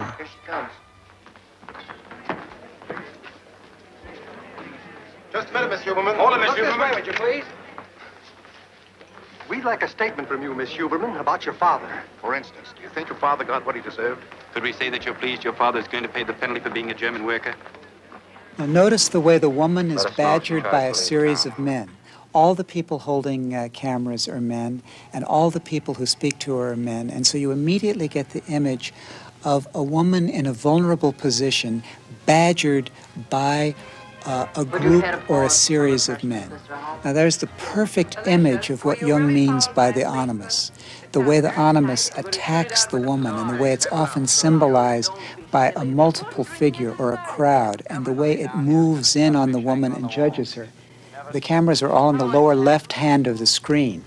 And then gradually we realize that in the lower left hand, there is now one man whose viewpoint we have, and he's a dark, kind of unknown figure. She's half attracted to him, half uh, suspicious of him, wonders is he a policeman? This is the uh, experience of so many women of constantly being under an attack. Do I look okay? Is my reputation okay?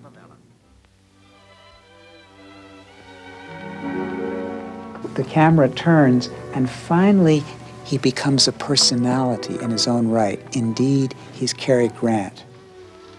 There's one more drink left, apiece. Shame about the ice.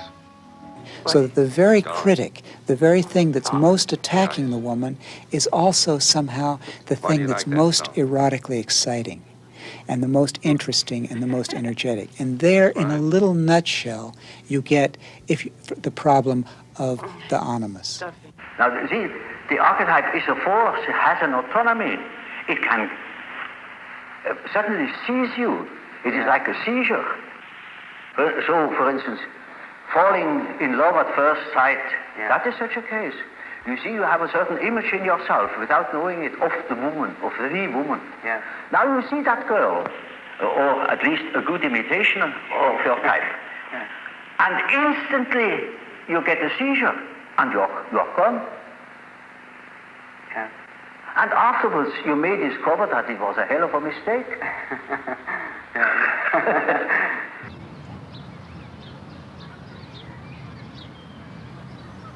The concepts of animus and anima emerged as Jung observed the lives and psychological realities of his patients, and they help in understanding both the pain and the delights of human relationship. Robert Johnson.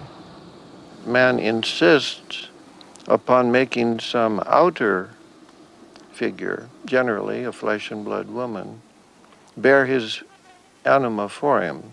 That is, he mediates uh, the outer world by way of his anima instead of using her inside where she belongs. This produces more suffering and more upset and more pain than any other single thing that I know about.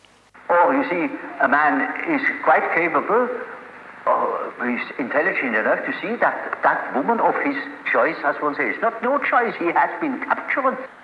You know, he sees that she is no good at all, that she is a hell of a business.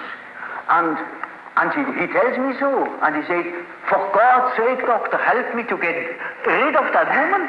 He can't. He's, he, he's like clay in her fingers. And that is the archetype. That is so-called archetype of the anima.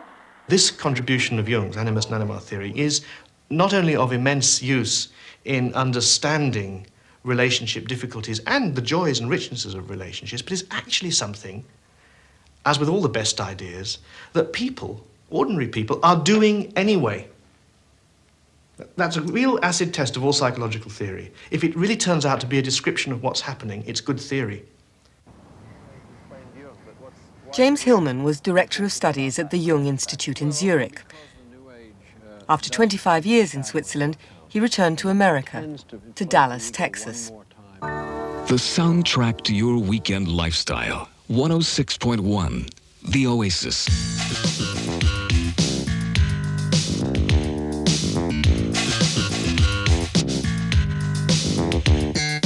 Hillman analyzes patients' dreams, but also sees the image of psyche in the architecture of cities and the shape and atmosphere of a landscape. The modern city is not for people, it's for business. And you drive in from the suburbs, you drive your car underground, put it in the garage, you don't come into the street at all, and then go up the elevator, and that's it. Walk up and down the halls, you could be in any kind of office building. And it's nothing to do with people. The thing about Dallas would be, see, the thing about the psyche in the world is that it's in the world, and it's the places themselves have a psyche. And that psyche speaks through how it displays itself. What do we see in this building? What is this building displaying itself as? So that it has to have no openings on the ground floor for people, but just repelling walls? What is it for a building to be absolutely skinny and bare-boned and stretching way up and empty on the interior with an atrium? I mean, that's an anorexic building.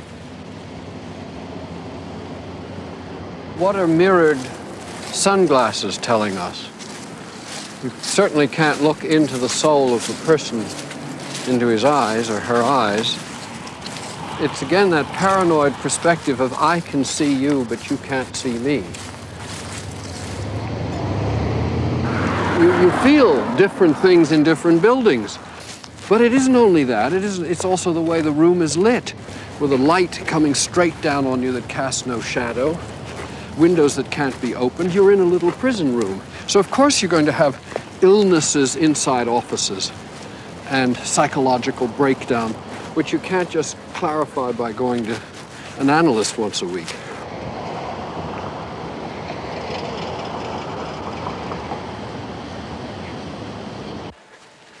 There's a darkness in the soil here. New England has the dead Indians and the dead witches and the dead Puritans and the, you know, we're, we're walking over the dead here, really.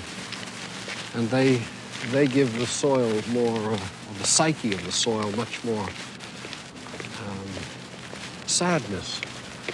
This sense of the soil having blood in it gives depth to uh, gives soul to a place.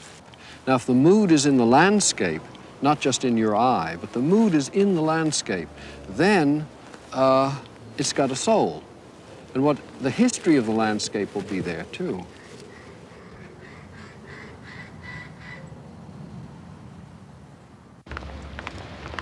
Jung observed the unchanging human need for archetypal experiences. Today, the gods have vanished, and we seek ecstasy and meaning in wealth and power, drugs and alcohol, or the lives of the famous. We project our fantasies onto public figures, political leaders, royalty, sporting heroes, musicians and movie stars. The collective unconscious is too big to live out personally. It's like asking someone to cope with the 100,000 volt power in a high tension line through the 110 volt wiring of, of the house to live out the collective unconscious himself. Much of it has to be lived by projection. I think there's no question um, that the person involved can get quite confused with the archetypal image that's being portrayed, and that can confuse people on both sides of the screen, so to, so to speak. Well, the famous example is Marilyn Monroe. And uh, in uh, The Dream, uh, which she apparently reported to someone and was written down, she was standing uh, naked in a church, and all kinds of people were coming in and uh, worshiping her there. And uh, of course, simply said, this is the love goddess, but in its religious aspect. It seems to me that um, her education and her consciousness and the amount of uh, uh, security she had in her early background didn't give her uh, a strong enough ego or a strong enough uh, personality to um, stand up to an archetypal image like that and, and, criticize it and say, well, it's as if in some way uh, my image is terribly important to people and has religious significance, and no wonder there's so little goddess in our culture. No wonder they would use me in this way. And I think there the person gets swallowed uh, by the image.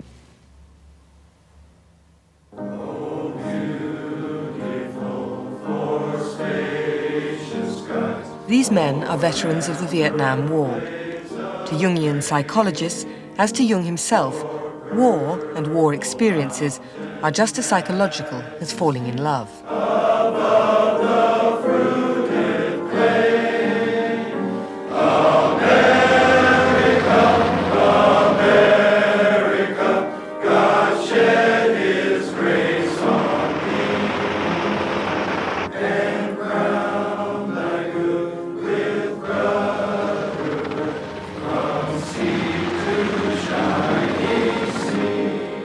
Harry Wilmer.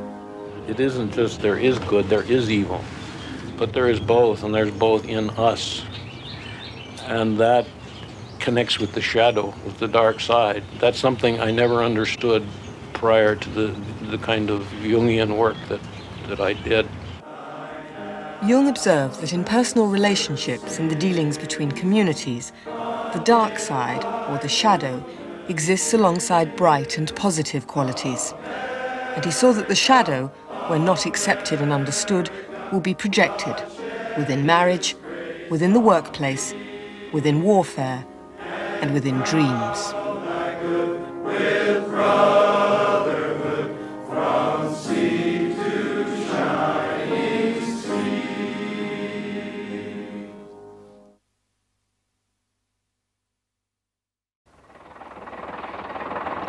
The young Americans who were drafted in their tens of thousands to fight the Vietnam War failed to achieve victory. The psychological wounds they suffered are not yet healed. Harry Wilmer. The war experience obviously was no different than any other war experience. We didn't call it a war. We called it a conflict, a police action. We were dealing with a enemy that was a foreign body if you want to put it that way. We wanted to exterminate. The consequences were that it permitted us to deny the existence of these men who were as heroic as any men in any war and to project our shadow. We called them losers and dope fiends and uh, baby killers and all the things that we despised. Harry Wilmer works with Vietnam veterans in Texas. Even 20 years after the war, many veterans still carry the burden of military failure and the blame for the horrors of war.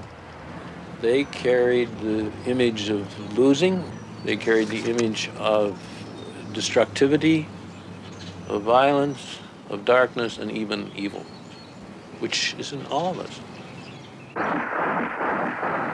When these men came home, Nobody wanted to acknowledge them. Nobody wanted to hear what they had to say. Many of Dr. Wilmer's veteran patients suffered from recurring nightmares of their own war experiences or of terrible violence and carnage which happened to others. The dreams to me represent the only uncontaminated history we have of the war. It's as if it is there now. You know, Jung talks about the reality of the psyche. It was as if I had the privilege of, if you want to call it the privilege, the painful privilege of being in the Vietnam War. This is the story of one of those dreams. This was Bill, who had lost his leg in a mine explosion, a landmine. And he had had this dream several times a week for many years. Nobody listened to them. The dream was we were on a search and destroy mission, and we were going through a friendly village. A baby was crying in a hooch. That's a little native house. And no one else was there. And uh, my buddy went into the hooch and he saw the crying baby. And the captain at the, at the outside shouted, Don't pick it up, don't pick it up. But he didn't hear the words and he reached for the baby and he picked the baby up and the baby exploded. It was booby trapped. There was nothing left of the baby and just parts of my friend. And uh, it was grenades. And he could never get over that cry or that sound or that somehow or another he hadn't done something. And that's a kind of typical combat nightmare. They stay the same, repeat over and over and over. American GIs were killed by booby-trapped babies in Vietnam, but Bill had not seen such horrors. His recurring nightmare reflected his own maiming in other circumstances. For the first time, Dr. Wilmer accepted Bill's dream as a real experience. The possibility of transformation and of healing begins when a new, unrealistic element arises in the dream something comes into the dream that didn't really happen. After all, if you dream 12 years of this and wake up in a cold sweat and a horror, thinking you're still there, when something happens in the dream that didn't really happen, it begins to take you out of that primal experience. And then the next stage is what I call the healing nightmare. When it is transformed, or when it next becomes a stage of an ordinary hallucinatory nightmare. Didn't happen, couldn't have happened far out, the kind of dreams that we all have from time to time. The healing nightmare allows the psyche to adapt from the horrors of combat to the normal processes of the unconscious. For Vietnam veterans, there were none of the parades or rituals which traditionally greet homecoming warriors on their return to ordinary life. There were no rites de sortie, there were no rituals, there was no way people were dumped 50, 60 hours from Vietnam into Des Moines, Iowa, or wherever and there was nobody there. Al John is a Vietnam veteran who was shot down in combat. After he returned home to the Navajo reservation in Arizona, his overwhelming war memories returned repeatedly. I started having a backflash of what happened you know, when I got shot down, and they had told me, to, let's go see that medicine man. They told me that uh, I had some stuff that uh, I was still carrying from Vietnam. My memory is still back there my memory is still in the, the outside world at uh, the Navajo reservation.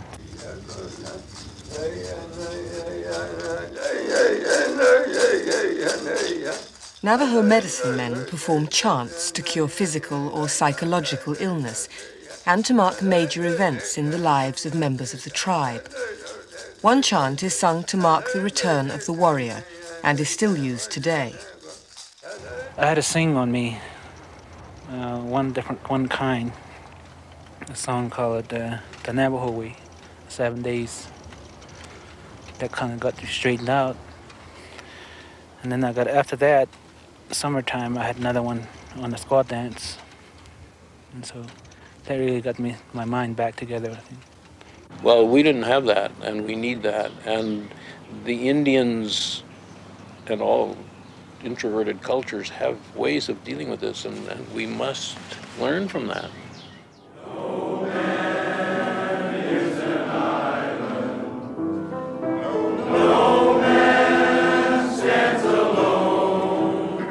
But then, with the memorial in Washington, this 400 foot black marble names of every veteran that had a profound effect. That was the beginning of American grieving and of America's acknowledgement. You look at that, you know, and you see your own face in the dark granite behind the names.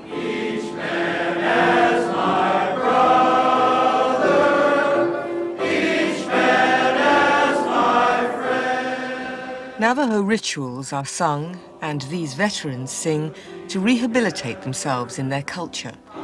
They were forced to carry the shadow of the American military involvement in Vietnam for failing to win and for the atrocities committed in war. And the shadow can only be lifted when it is understood. And I think that the rituals that go on now in hospitals or in groups uh, with therapists of all sorts, self-help groups, these are the way. And it must touch other people too, not just the veterans, their families, their children, the world. The men became the war. And that is the very destructive thing, because we are those men.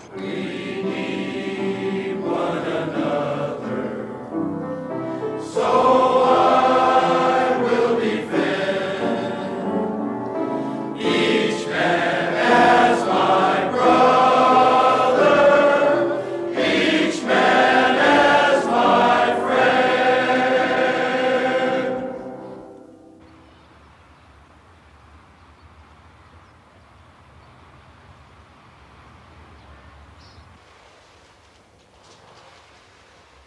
Just as Jung worked with the dreams that arose from the unconscious of his patients, so sand play provides the space and freedom for the unconscious to express itself in concrete pictures.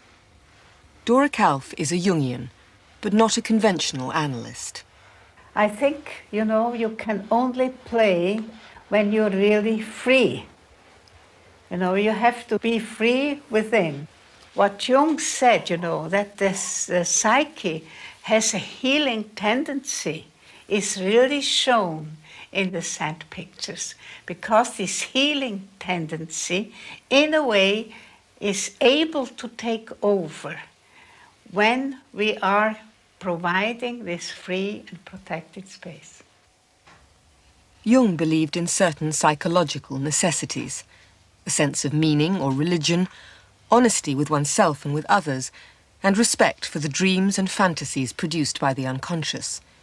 He also believed in play. Every creative individual whatsoever owes all that is greatest in his life to fantasy.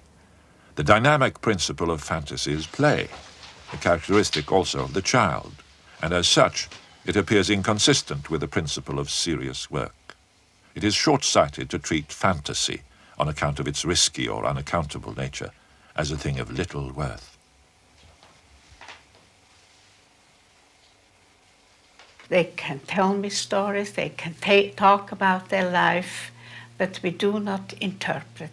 Because what I have observed, that when we start to do this way of sand play, that we can observe a kind of a process, you know, that leads into the inner realms of the personality. And maybe each time they touch even a deeper level. The patient shows you what comes from within. And the therapist sees from outside and understands what he wants to tell you through the symbolic language, you see.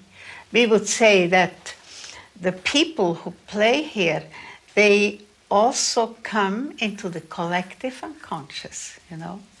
And the collective unconscious means that this is meaningful for all people, that there are those symbols that are meaningful not only, let's say, for Switzerland, but maybe just as well for England or in a different uh, continent. For instance, when they take Oriental or Far Eastern symbols, I think that they are near the bottom of their unconscious. Our culture has moved away from the instinctual life. And this is why we have various animals at display. We have, for instance, wild animals and this could indicate for a person that they have not been in contact with their instincts. In the sand trays of one patient, Dora Kalf observes the transforming powers of the psyche, which can also be seen in dream analysis. This young man didn't know what to do with his life, but after a series of sand trays, something changed dramatically, and he made a positive decision he came and said, I have decided to, to study medicine. And I was quite surprised because we never talked about, you know, what he should study or what he should do. And then he made this picture. This is a city with the traffic and the police directing the traffic. And uh, we have all these houses, they have no windows, and therefore, I felt it was a very anonymous situation. Also, I don't think that these people pay any attention to who they encounter. And then there is the concrete of the place. And through this concrete breaks this beautiful flower. Now, what does that mean, you see? That although he lives in such a surrounding and he may have had no contact through his inner life, he felt all of a sudden, you see, that something was more important eh, than all the surroundings that he was living in. We would never see that a white rose would be able to break through concrete. Eh? But these energies are so strong once they are awakened that they can do nearly impossible things. The followers of Jung who are old enough to have known him well are now in their last years themselves. Jung's work began with his own inner life, and for these analysts, the arrival of old age and the approach of death is an opportunity to observe what the unconscious has to say. When one is preparing for death, uh, uh, which is what I've been busy doing for the last 10 years. Sounds lugubrious, but at my age it isn't. I've had an incredibly rich life, and, and uh, as I said, I call God Albert, and if they threw the switch on me tomorrow night time, uh, I would scrawl, Dear Albert, thank you, Joe. You know, this, this is my feeling about it. Dr. Dr. Adolf Guggenbühl-Craig, a Zurich analyst, has recently published a book called Old Fools. When I was young, I obviously hoped that one day I will understand what's going on.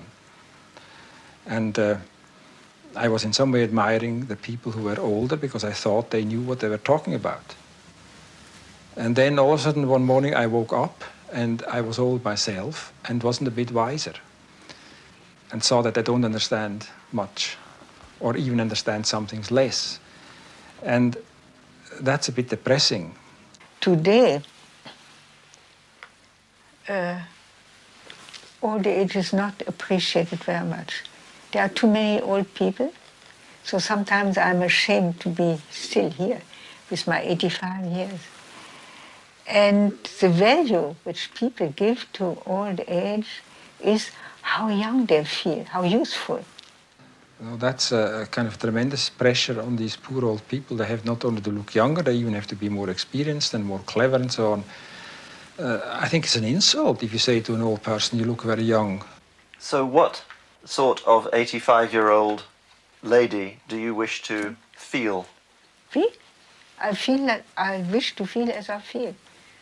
I'm quite satisfied. I don't want to, to be different. No. I saw that one advantage, one uh, possibility in old age, which has been depicted in images too, is that when you're old, you don't have to care so much anymore. When you're old, you can say, what the hell, what does it matter if people think I'm an idiot or if I'm an old fool? And so the, the archetype of the old fool is really a fuller archetype than the old wise man, who is a one-sided uh, propaganda gimmick of older people to dominate the younger ones. Jungian analysts share a conviction that life has meaning, though it may be found only in retrospect, and though the meaning may be purely personal and of no wider significance. Aniela Jaffe. What is meaning? We create meaning, and that's so important. Afterwards, if I look back my, my long, long life, and there were things which were very difficult for me. If you try to understand your dreams and your fantasies, then perhaps you can um, you can find a meaning. Looking back, what Jung thought, reflection, reflection, looking back. I was married, and it, it was, uh, uh, we were very, very young, 20 and 21. And, but it, it didn't last very long. So we divorced. And I thought, what, what can that mean? It is, uh, was ridiculous two students marrying and then going, going away. The meaning for me was this, this marriage saved my life because I got the Swiss passport, he was Swiss, and I could go to Switzerland. I came to Jung. These are the detours, you see, which life creates, which one doesn't understand. But decades later, one understands. You see, I'm very old. And for a very, very long time, I didn't feel old. And I thought that I could and should, not, so much should, but that, that one just did, went on doing the same things when one was 85 or 86 or 89 uh, than, if one, than the things one did when one was 60 or 70. And I did not heed Jung at the time. Because I was very surprised sometimes when Jung, when he was about oh, end of 60, 70s, in the 70s, didn't do this or didn't do that because he said he was too old, and I couldn't understand it. Jung used to say if you can't take a hint from life, then life will hit you. And that I think is true. There were hints which I could have taken, and I didn't. And so I had to break my leg before I uh, was ready or willing or able to understand what it really was about. Particularly, I felt uh, uh, some kind of relief almost that I could be old, that I was permitted to be old. It was the most extraordinary experience. And through that experience, I realized how wise Jung was.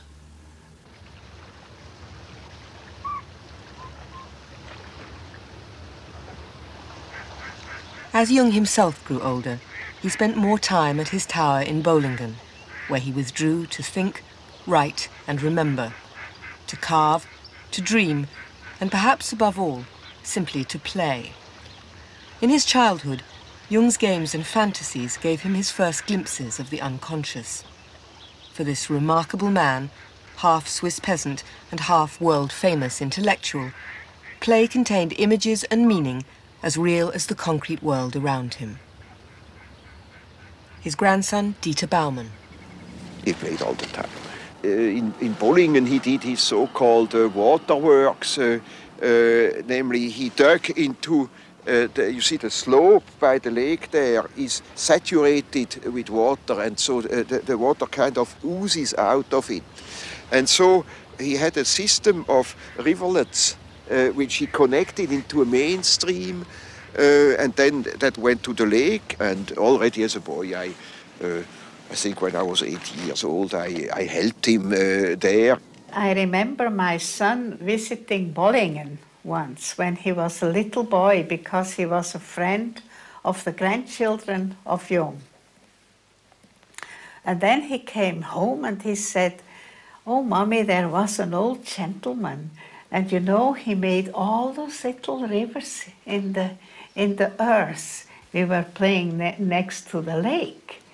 And he wondered why he did this. We know that every good idea and all creative work are the offspring of the imagination and have their source in what one is pleased to call infantile fantasy. Without this playing with fantasy, no creative work has ever yet come to birth. The debt we owe to the play of imagination is incalculable. It must not be forgotten that it is just in the imagination that a man's highest value may lie.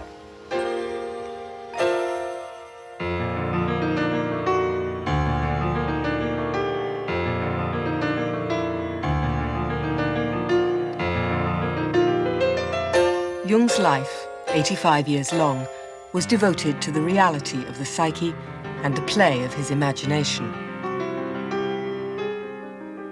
No one can doubt the impact he has had on our age. For most of his life, he worked against the popular current of worldly perspectives, bringing unfamiliar ideas and unsettling observations to light. If today the unconscious is more than a mere abstraction, and if the psyche has become a reality, we owe that largely to the scientist and doctor who listened to the wisdom of the dream. Carl Gustav Jung.